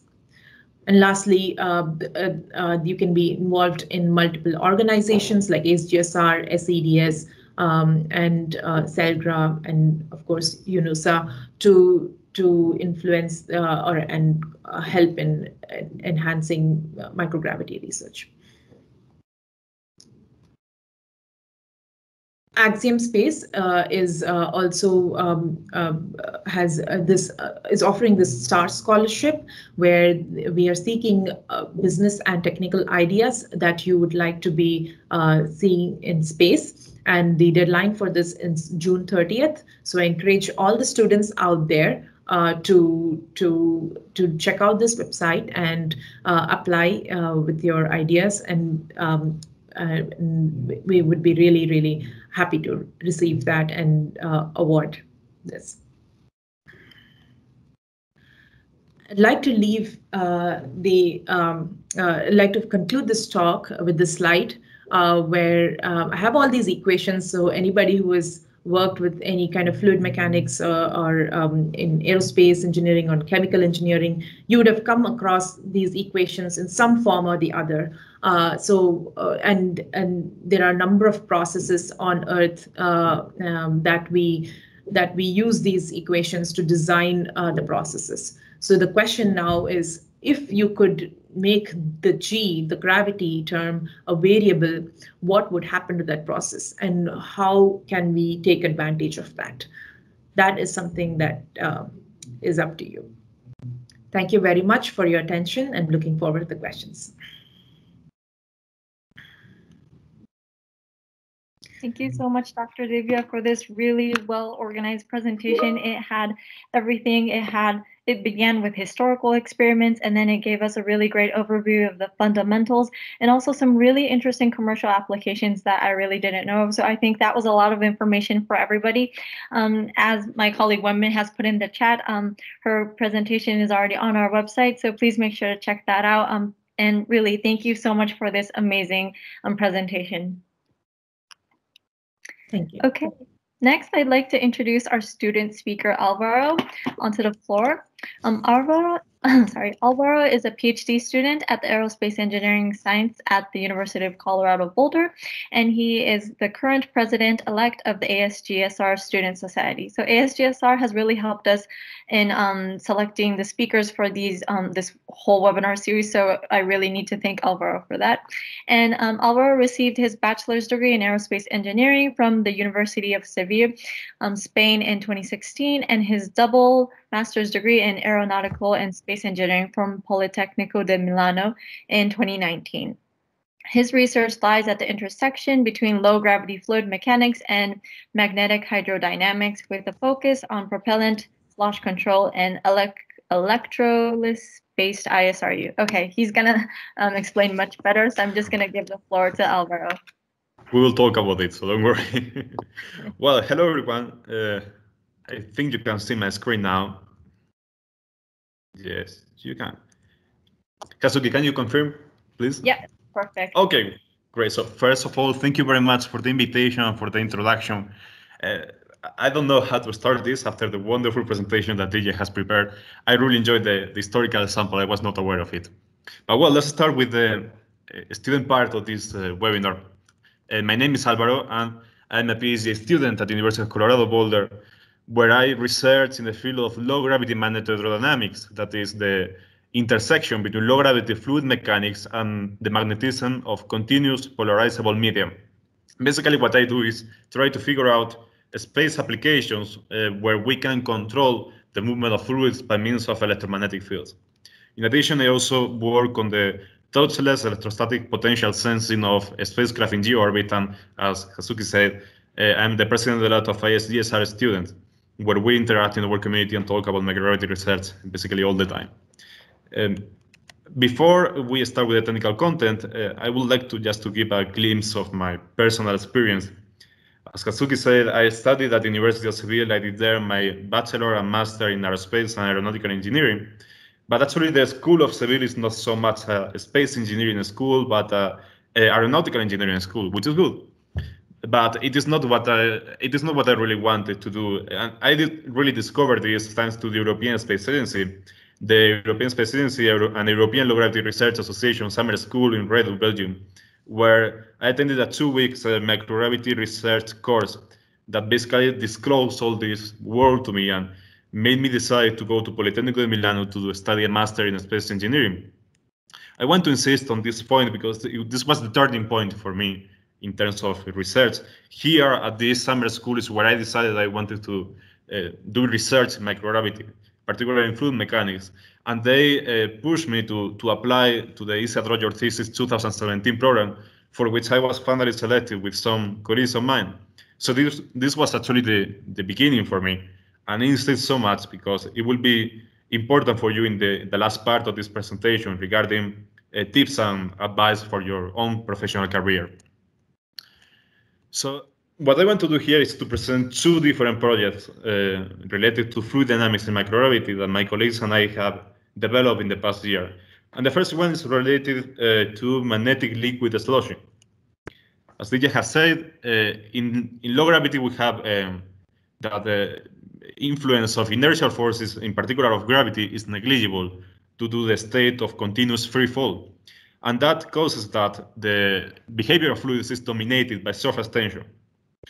This means that fluids behave in a way that we are not uh, accustomed to here on Earth. And this is a challenge for several space applications, for, but as Divya said perfectly, it's also an opportunity for studying a myriad of physical phenomena that we cannot study on Earth. One of those physical phenomena is low gravity liquid sloshing. You know, in the 50s, when we started launching rockets to space, people was wondering, okay, we have uh, liquid propellants and we have to control them somehow. We have to ensure that we can use them in space. And the problem is that we don't have a settling force that hits the fluid at the bottom of the tank. So the fluid behaves in very weird ways, uh, as you can see here in this figure, uh, or in the figure at the, at the right.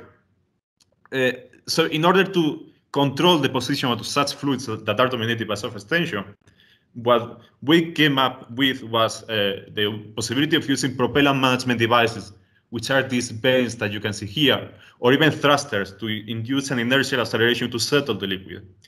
Uh, we do all this because we cannot do as in high gravity sloshing. We cannot assume that the liquid behaves as a modal system, a linear modal system. But someone in the 60s, uh, and this someone was a NASA engineer called Steve Papell, came with an idea, and he said, what if we make a liquid magnetic in such a way that we can attract it with attract it with magnets and generate a kind of gravity equivalent force, magnetic gravity equivalent force in space. So he presented this patent where he uh, invented ferrofluids and his ideas you can see, and this is kind of wonderful. It is kind of uh, archaeological engineering, right? To see that he drove himself this uh, this concept idea. I read in the 60s. So he said, okay, let's add uh, ferromagnetic particles to the liquid and make it magnetic, and then we keep it with a with a magnet close to the bottom of the tank, and in this way we can uh, control its position. So this idea was not feasible at the time because the magnets that we had in the 60s were much weaker than those that we have nowadays with rare earths. But still, a lot of research has been uh, done recently with neodymium magnets and liquid oxygen, which is the strongest paramagnetic liquid available on Earth. And uh, this research has basically focused on the positioning of this liquid. That is, we have a, a propellant, which is magnetic, and we use magnets to position the propellant at convenient places, like, for instance, the fuel outlet. My colleagues and I were really interested in this problem and in the implications from the fundamental science perspective of this problem. And that is why we applied and co-selected for the ESA Drop Your Thesis 2017 and UNOOSA Drop Test 2018 programs. What we wanted to do is to study the oscillatory dynamics of this liquid here, of this magnetic liquid. So we have a cylindrical tank with a magnetic liquid, which is a ferrofluid, and we implement a series of coils and magnets to control the position. We wanted to study something that had not been studied previously, which is the oscillatory dynamics of the system. That is, how does the fluid oscillate when we apply a percussion in the presence of a, of a magnetic field? We made several fluid mechanics assumptions for this, develop a model and study the equilibrium, stability, and modal response in the presence of a magnetic settling force.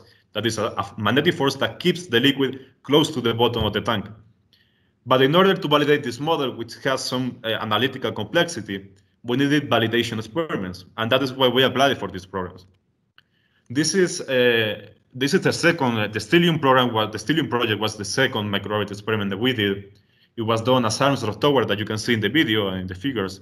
And here at the right, you can see our experiment that is composed, as you can observe, of two uh, cylindrical containers with a ferrofluid inside, two coils here at the bottom, and a moving platform that you will see in action in the next slide. So the idea of this system is to launch this uh, system uh, with the inside the Sunslot tower, put it in 10 seconds microgravity conditions, and measure the evolution of the free surface. And this is what we got. You can see here one of our launches, where we had the ferrofluid. Now we are entering microgravity. In a second, you see, will see, you see here the lateral percussion. You see how the surface oscillates, but remains at the bottom of the tank. And it remains at the bottom of the tank because a magnetic force is being, is being exerted by this coil here.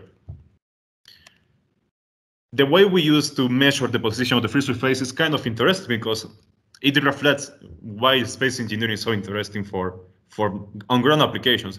We have to develop a specific uh, surface uh, uh, detection system composed of a, of a laser beam and a camera. And by measuring the deformation of this laser uh, beam, we were able to uh, infer the elevation of the surface. And we actually have this in a paper that is currently under review. I, I just mentioned this because it, it is wonderful sometimes how when you try to study some problems, you came up for with solutions and technical uh, improvements for completely different setups that may be useful for other researchers. And this is something that happens a lot in microgravity research because we are subject to strong limitations from the purely technical perspective. Uh, I cannot I cannot share at this point the results from this experiment because they are currently under review. But uh, I can say, uh, as Antonio has said this morning, that the experiment was was a great success for us in the sense that we got all the results we wanted. The experiment design was appropriate for the drop tower facility, and everything worked very well. Hopefully, by the end of this year, all our results will be published already, and we will be able to share them freely in these presentations. The second project I want to talk about is uh, more recent. It is related to diamagnetically enhanced electrolysis. As we have already discussed several times, in a space you don't have buoyancy forces. So when you try to do electrolysis uh, of water in microgravity, you end up having these layers of bubbles uh, over the electrodes. And this is highly inconvenient because if you have a surface and you have bubbles over it, the effective surface area is reduced. And you need to separate the bubbles and separate the bubbles from the water. So you need to induce phase separation.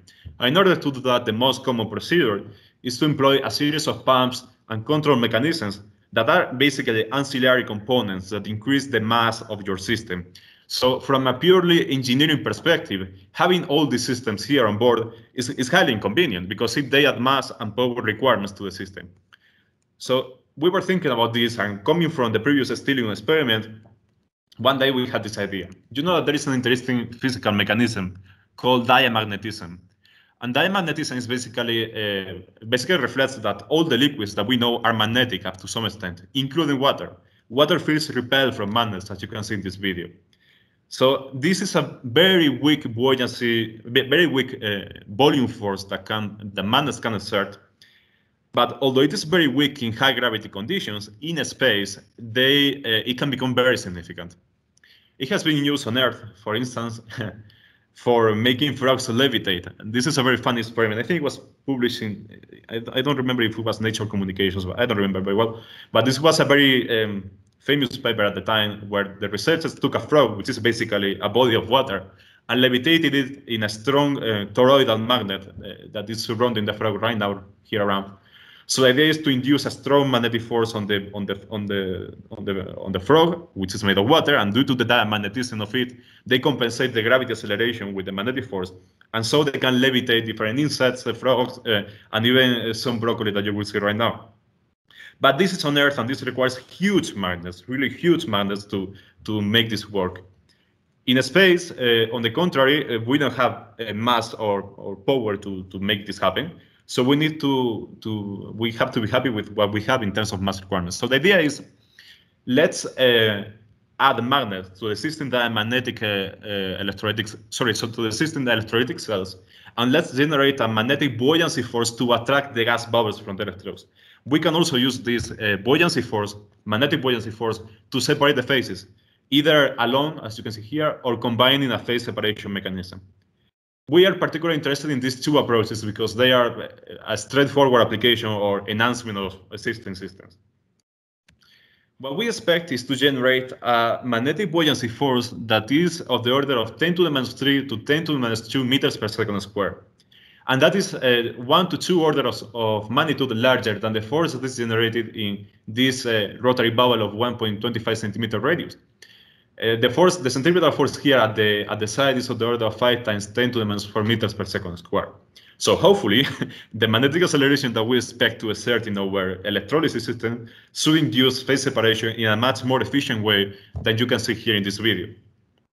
But in order to validate this, we have designed a, a specific experiment that will be launched in Blue Origin's New Shepard, thanks to the ASGSR uh, Award. Uh, the purpose of this system is to validate the concept. So we have here a, a magnetic electrolytic cell composed of two proton exchange membranes. This is oh sorry. This is launched in microgravity, and the cells gener start generating a layer of bubbles. The idea is that we have in these two square rectangles, we have two strong neodymium magnets that attract those bubbles and bring them to these phase separation chambers that you can see here, triangular ones, to separate the gas from the liquid. At the same time, we will observe a non-magnetic proton exchange membrane to figure out what happens when we don't have the magnetic force uh, being applied to the system. This design is currently under, under development and it will be launched at some point in the future. Uh, maybe we, we can show further details in a future webinar. Now, uh, UNOOSA has asked us to give uh, some tips for students that are attending this webinar and may be interested in, in pursuing a career in microgravity research. And I don't consider myself an expert or someone authorized to give advice, but I have some um, tips or some questions that I think you should ask yourself uh, for before you you move the, to this otherwise fascinating world. And the first question that you should ask yourself is, who are you, and where do you want to go? Are you a researcher? Are you someone who's interested in doing research in academia? Do you want to go to industry? Do you want to work for NASA or ESA or any other space agency? Do you want to move away from space and, I don't know, devote yourself to biological engineering or biological research? It is good that you have this in mind uh, because microgravity research is a path for many of these destinies. For instance, in the left, you can see my colleagues, Lydia and Tim from the from the FERROS team at ESA Your Thesis team is currently working in oceanographic research, and Lydia is a systems engineering developer in uh, related to electronics and, and electronic systems in, in Skylife Engineering in Seville. The experience with Isadora Thesis served to them to, to develop uh, their uh, professional skills in the fields that they chose later, but they did not end up working in microgravity as I did. Similarly, in this right picture, you see all the components of the Stellium team, Antonio, Francesco, Ines, Filippo, and me, Eh, and all our partners from UNOOSA and ZARM Drop Tower. All of them ended up working in space in different fields, and the UNOOSA uh, senior experiment was very useful for their training. If you, if you realize that you want to work in microgravity, that you want to do microgravity research, you need to make a plan. But the first thing you need to do is to create your own network and reach out to your global uh, microgravity research community.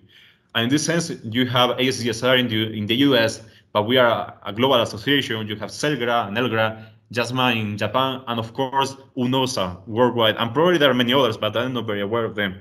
The thing is that when you reach out to these associations, you will not, not only get in touch with colleagues from your field, you will also get access to several opportunities to go hands-on, to apply your knowledge to real experiments, which is the necessary step if you want to work in microgravity. This is what really teaches you how to how to perform. And in this case, I have to mention because this is a, a global audience uh, that is attending this webinar, that the UNOOSA Access to Space for All initiative is probably the one you should look for in most cases.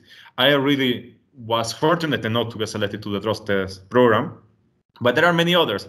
And these opportunities, uh, even if they seem kind of futuristic or not reachable for some of us, and we have all had that, that feeling that we are not maybe good enough for applying for something like this, even if you have that feeling, still apply for them. It is very important.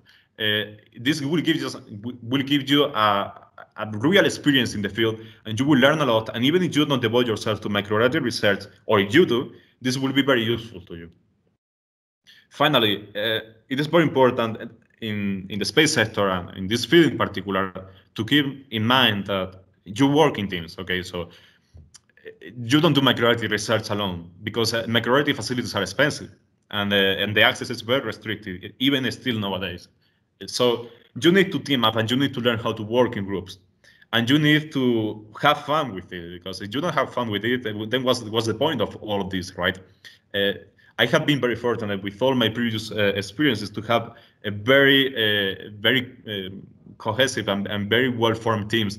Uh, we have had a lot of uh, fun together doing microgravity research and, and having uh, I don't know what the hell was this, but it was it was so nice that we had to make a picture of it. So don't always keep in mind that uh, you need to learn how to work in groups you need to know how to create a team and you need to have fun with it. And uh, with this kind of uh, uh happy conclusion I, I, would like to to close this presentation. And please if you have any questions feel free to reach out at uh, any of these links or or even check the presentation that uh, our colleagues at UNOOSA have uploaded to check for the links and all the all the papers that we have mentioned. Thank you very much Thank you so much, Alvaro, for this amazing presentation. Um, thank you for giving us the examples of the many projects you've um, taken part in. I think he's a really good example of really taking part, being proactive in the many opportunities that are out there in the world. Um, as you mentioned, he's um, participated in Drop Your Thesis and um, our UNOOSA opportunity. So he he is actually a very good person to talk to, maybe if you have any ideas. But thank you so much. I think it's really inspiring, and you really gave good advice to everyone. So thank you so much, Alvaro. Thanks to you. Okay, now I'd like to move on to the questions and answer part because I see a few questions. So, okay, let's start. The first question is from Itamar. Um, I think it's a question slash comment about the actual lead um, experiment that Divya mentioned. So wouldn't the lead shots produced in 1982 um, be drop shaped instead of perfectly spherical? So Divya, do you have any comments or yeah that's a good point. So so the reason that they need tall towers is to give enough time for the the drop shape to become a sphere. So uh, in in the free fall only there's only surface tension uh, dominating um, uh, the the uh, the shape of the droplet and sphere is the minimum surface energy that the droplet can have. So it, it tends to become a sphere. Um, and uh, yeah, so that's why after this first tower, there were taller towers that were made subsequently to to make sure that you get more sphere, spherical droplets and enough cooling time uh, as well. Thank you very much for the clear answer. The next question is also from Itamar. Um, with the many um, space construction and manufacture ideas depending on 3D printing, have you considered the dynamics of 3D printing in a microgravity experiment?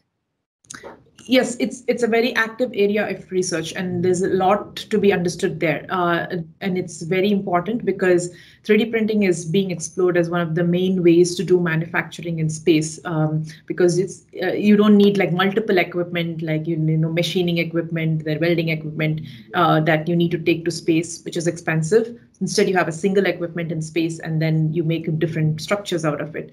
Um, yes, droplet dynamics, uh, the way the fluid um, uh, wets the uh, the, the already deposited material, the heat transfer characteristics, the cooling characteristics, all of these are still uh, being studied. Uh, there are a few companies that are trying to explore this, uh, but I, I, would say there's still a lot of questions that are unanswered there. Yeah.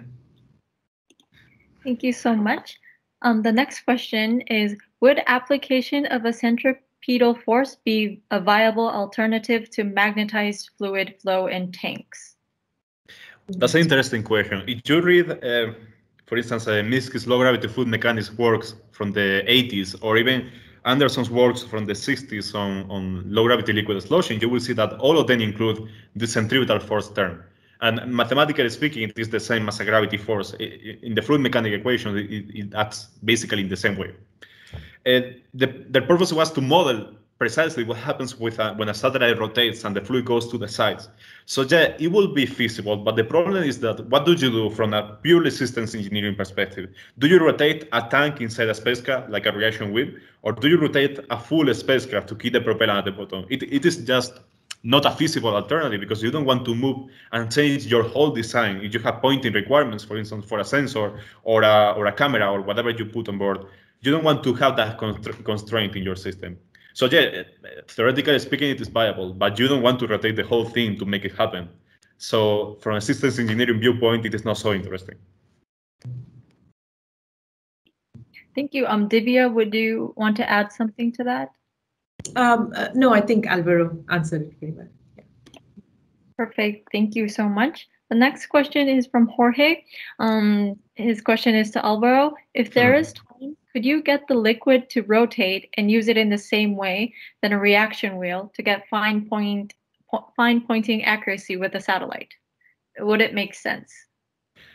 Well, we will have to crunch number, but my first thoughts about this are, in a reaction wheel, you try to minimize the friction between the wheel and the casing, because in that way you can you can spend less power in keeping that thing rotating, right? When you have a viscous fluid rotating inside a tank, you have a, a, a large uh, viscous dissipation of the of the kinetic energy of the liquid. So you will have to keep, I mean, theoretically, you could take a magnet, for instance, or a set of electromagnets and start a spinning motion in the liquid.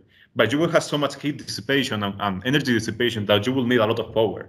And my feeling is that if you really need um, high pointing accuracies, just buy a small uh, rotation, uh, uh a small CMG or a small um, uh, rotation wheel, just to achieve that pointing accuracy. And I feel that the current technology for that is much better than whatever we can achieve with uh, rotating liquids. But yeah, it is an interesting question. Okay, thank you so much. Um, actually, I don't see any more um, questions at the moment. I think I've cleared all of them. Um, this is our last call. We have the professionals here, so if you'd like to ask something, please make sure to send it now. Um, although I know this was a lot of information for everyone to digest, so everything will be, um, it's on the website. Um, the recordings will be posted there as well. And if you have any more questions that um, you couldn't um, ask now, um, you can also put it in our questionnaire form and we can share it as well. Okay, I don't see any more, so I guess um, I will close the session now. So thank you so much, um, Dr. Divya and Alvaro for the amazing presentations. It was a really fantastic overview of what we can do in fluid dynamics. And um, thank you so much to the crowd for um, joining us. And thank you for the people who asked us questions as well. So um, next week, same time, same place, we will have a webinar um, focusing on technology demonstration. So please make sure um, you don't have to register anymore. So please make sure to join us. Um, and this will actually be one of the last webinars that we focus on a specific topic because after that we'll be um, getting more general, um, introducing our UNOSUN opportunities and bringing in um, space agencies and different um, people to introduce their activities as well. So this is the um, the next one. It will be the last one that will focus on a specific scientific topic. So um, thank you so much. Please make sure to answer our questionnaire before you leave. And yeah, I will see all of you next week, hopefully. So thank you so much to the speakers. Thank you for everyone for joining in. Take care and have a nice day.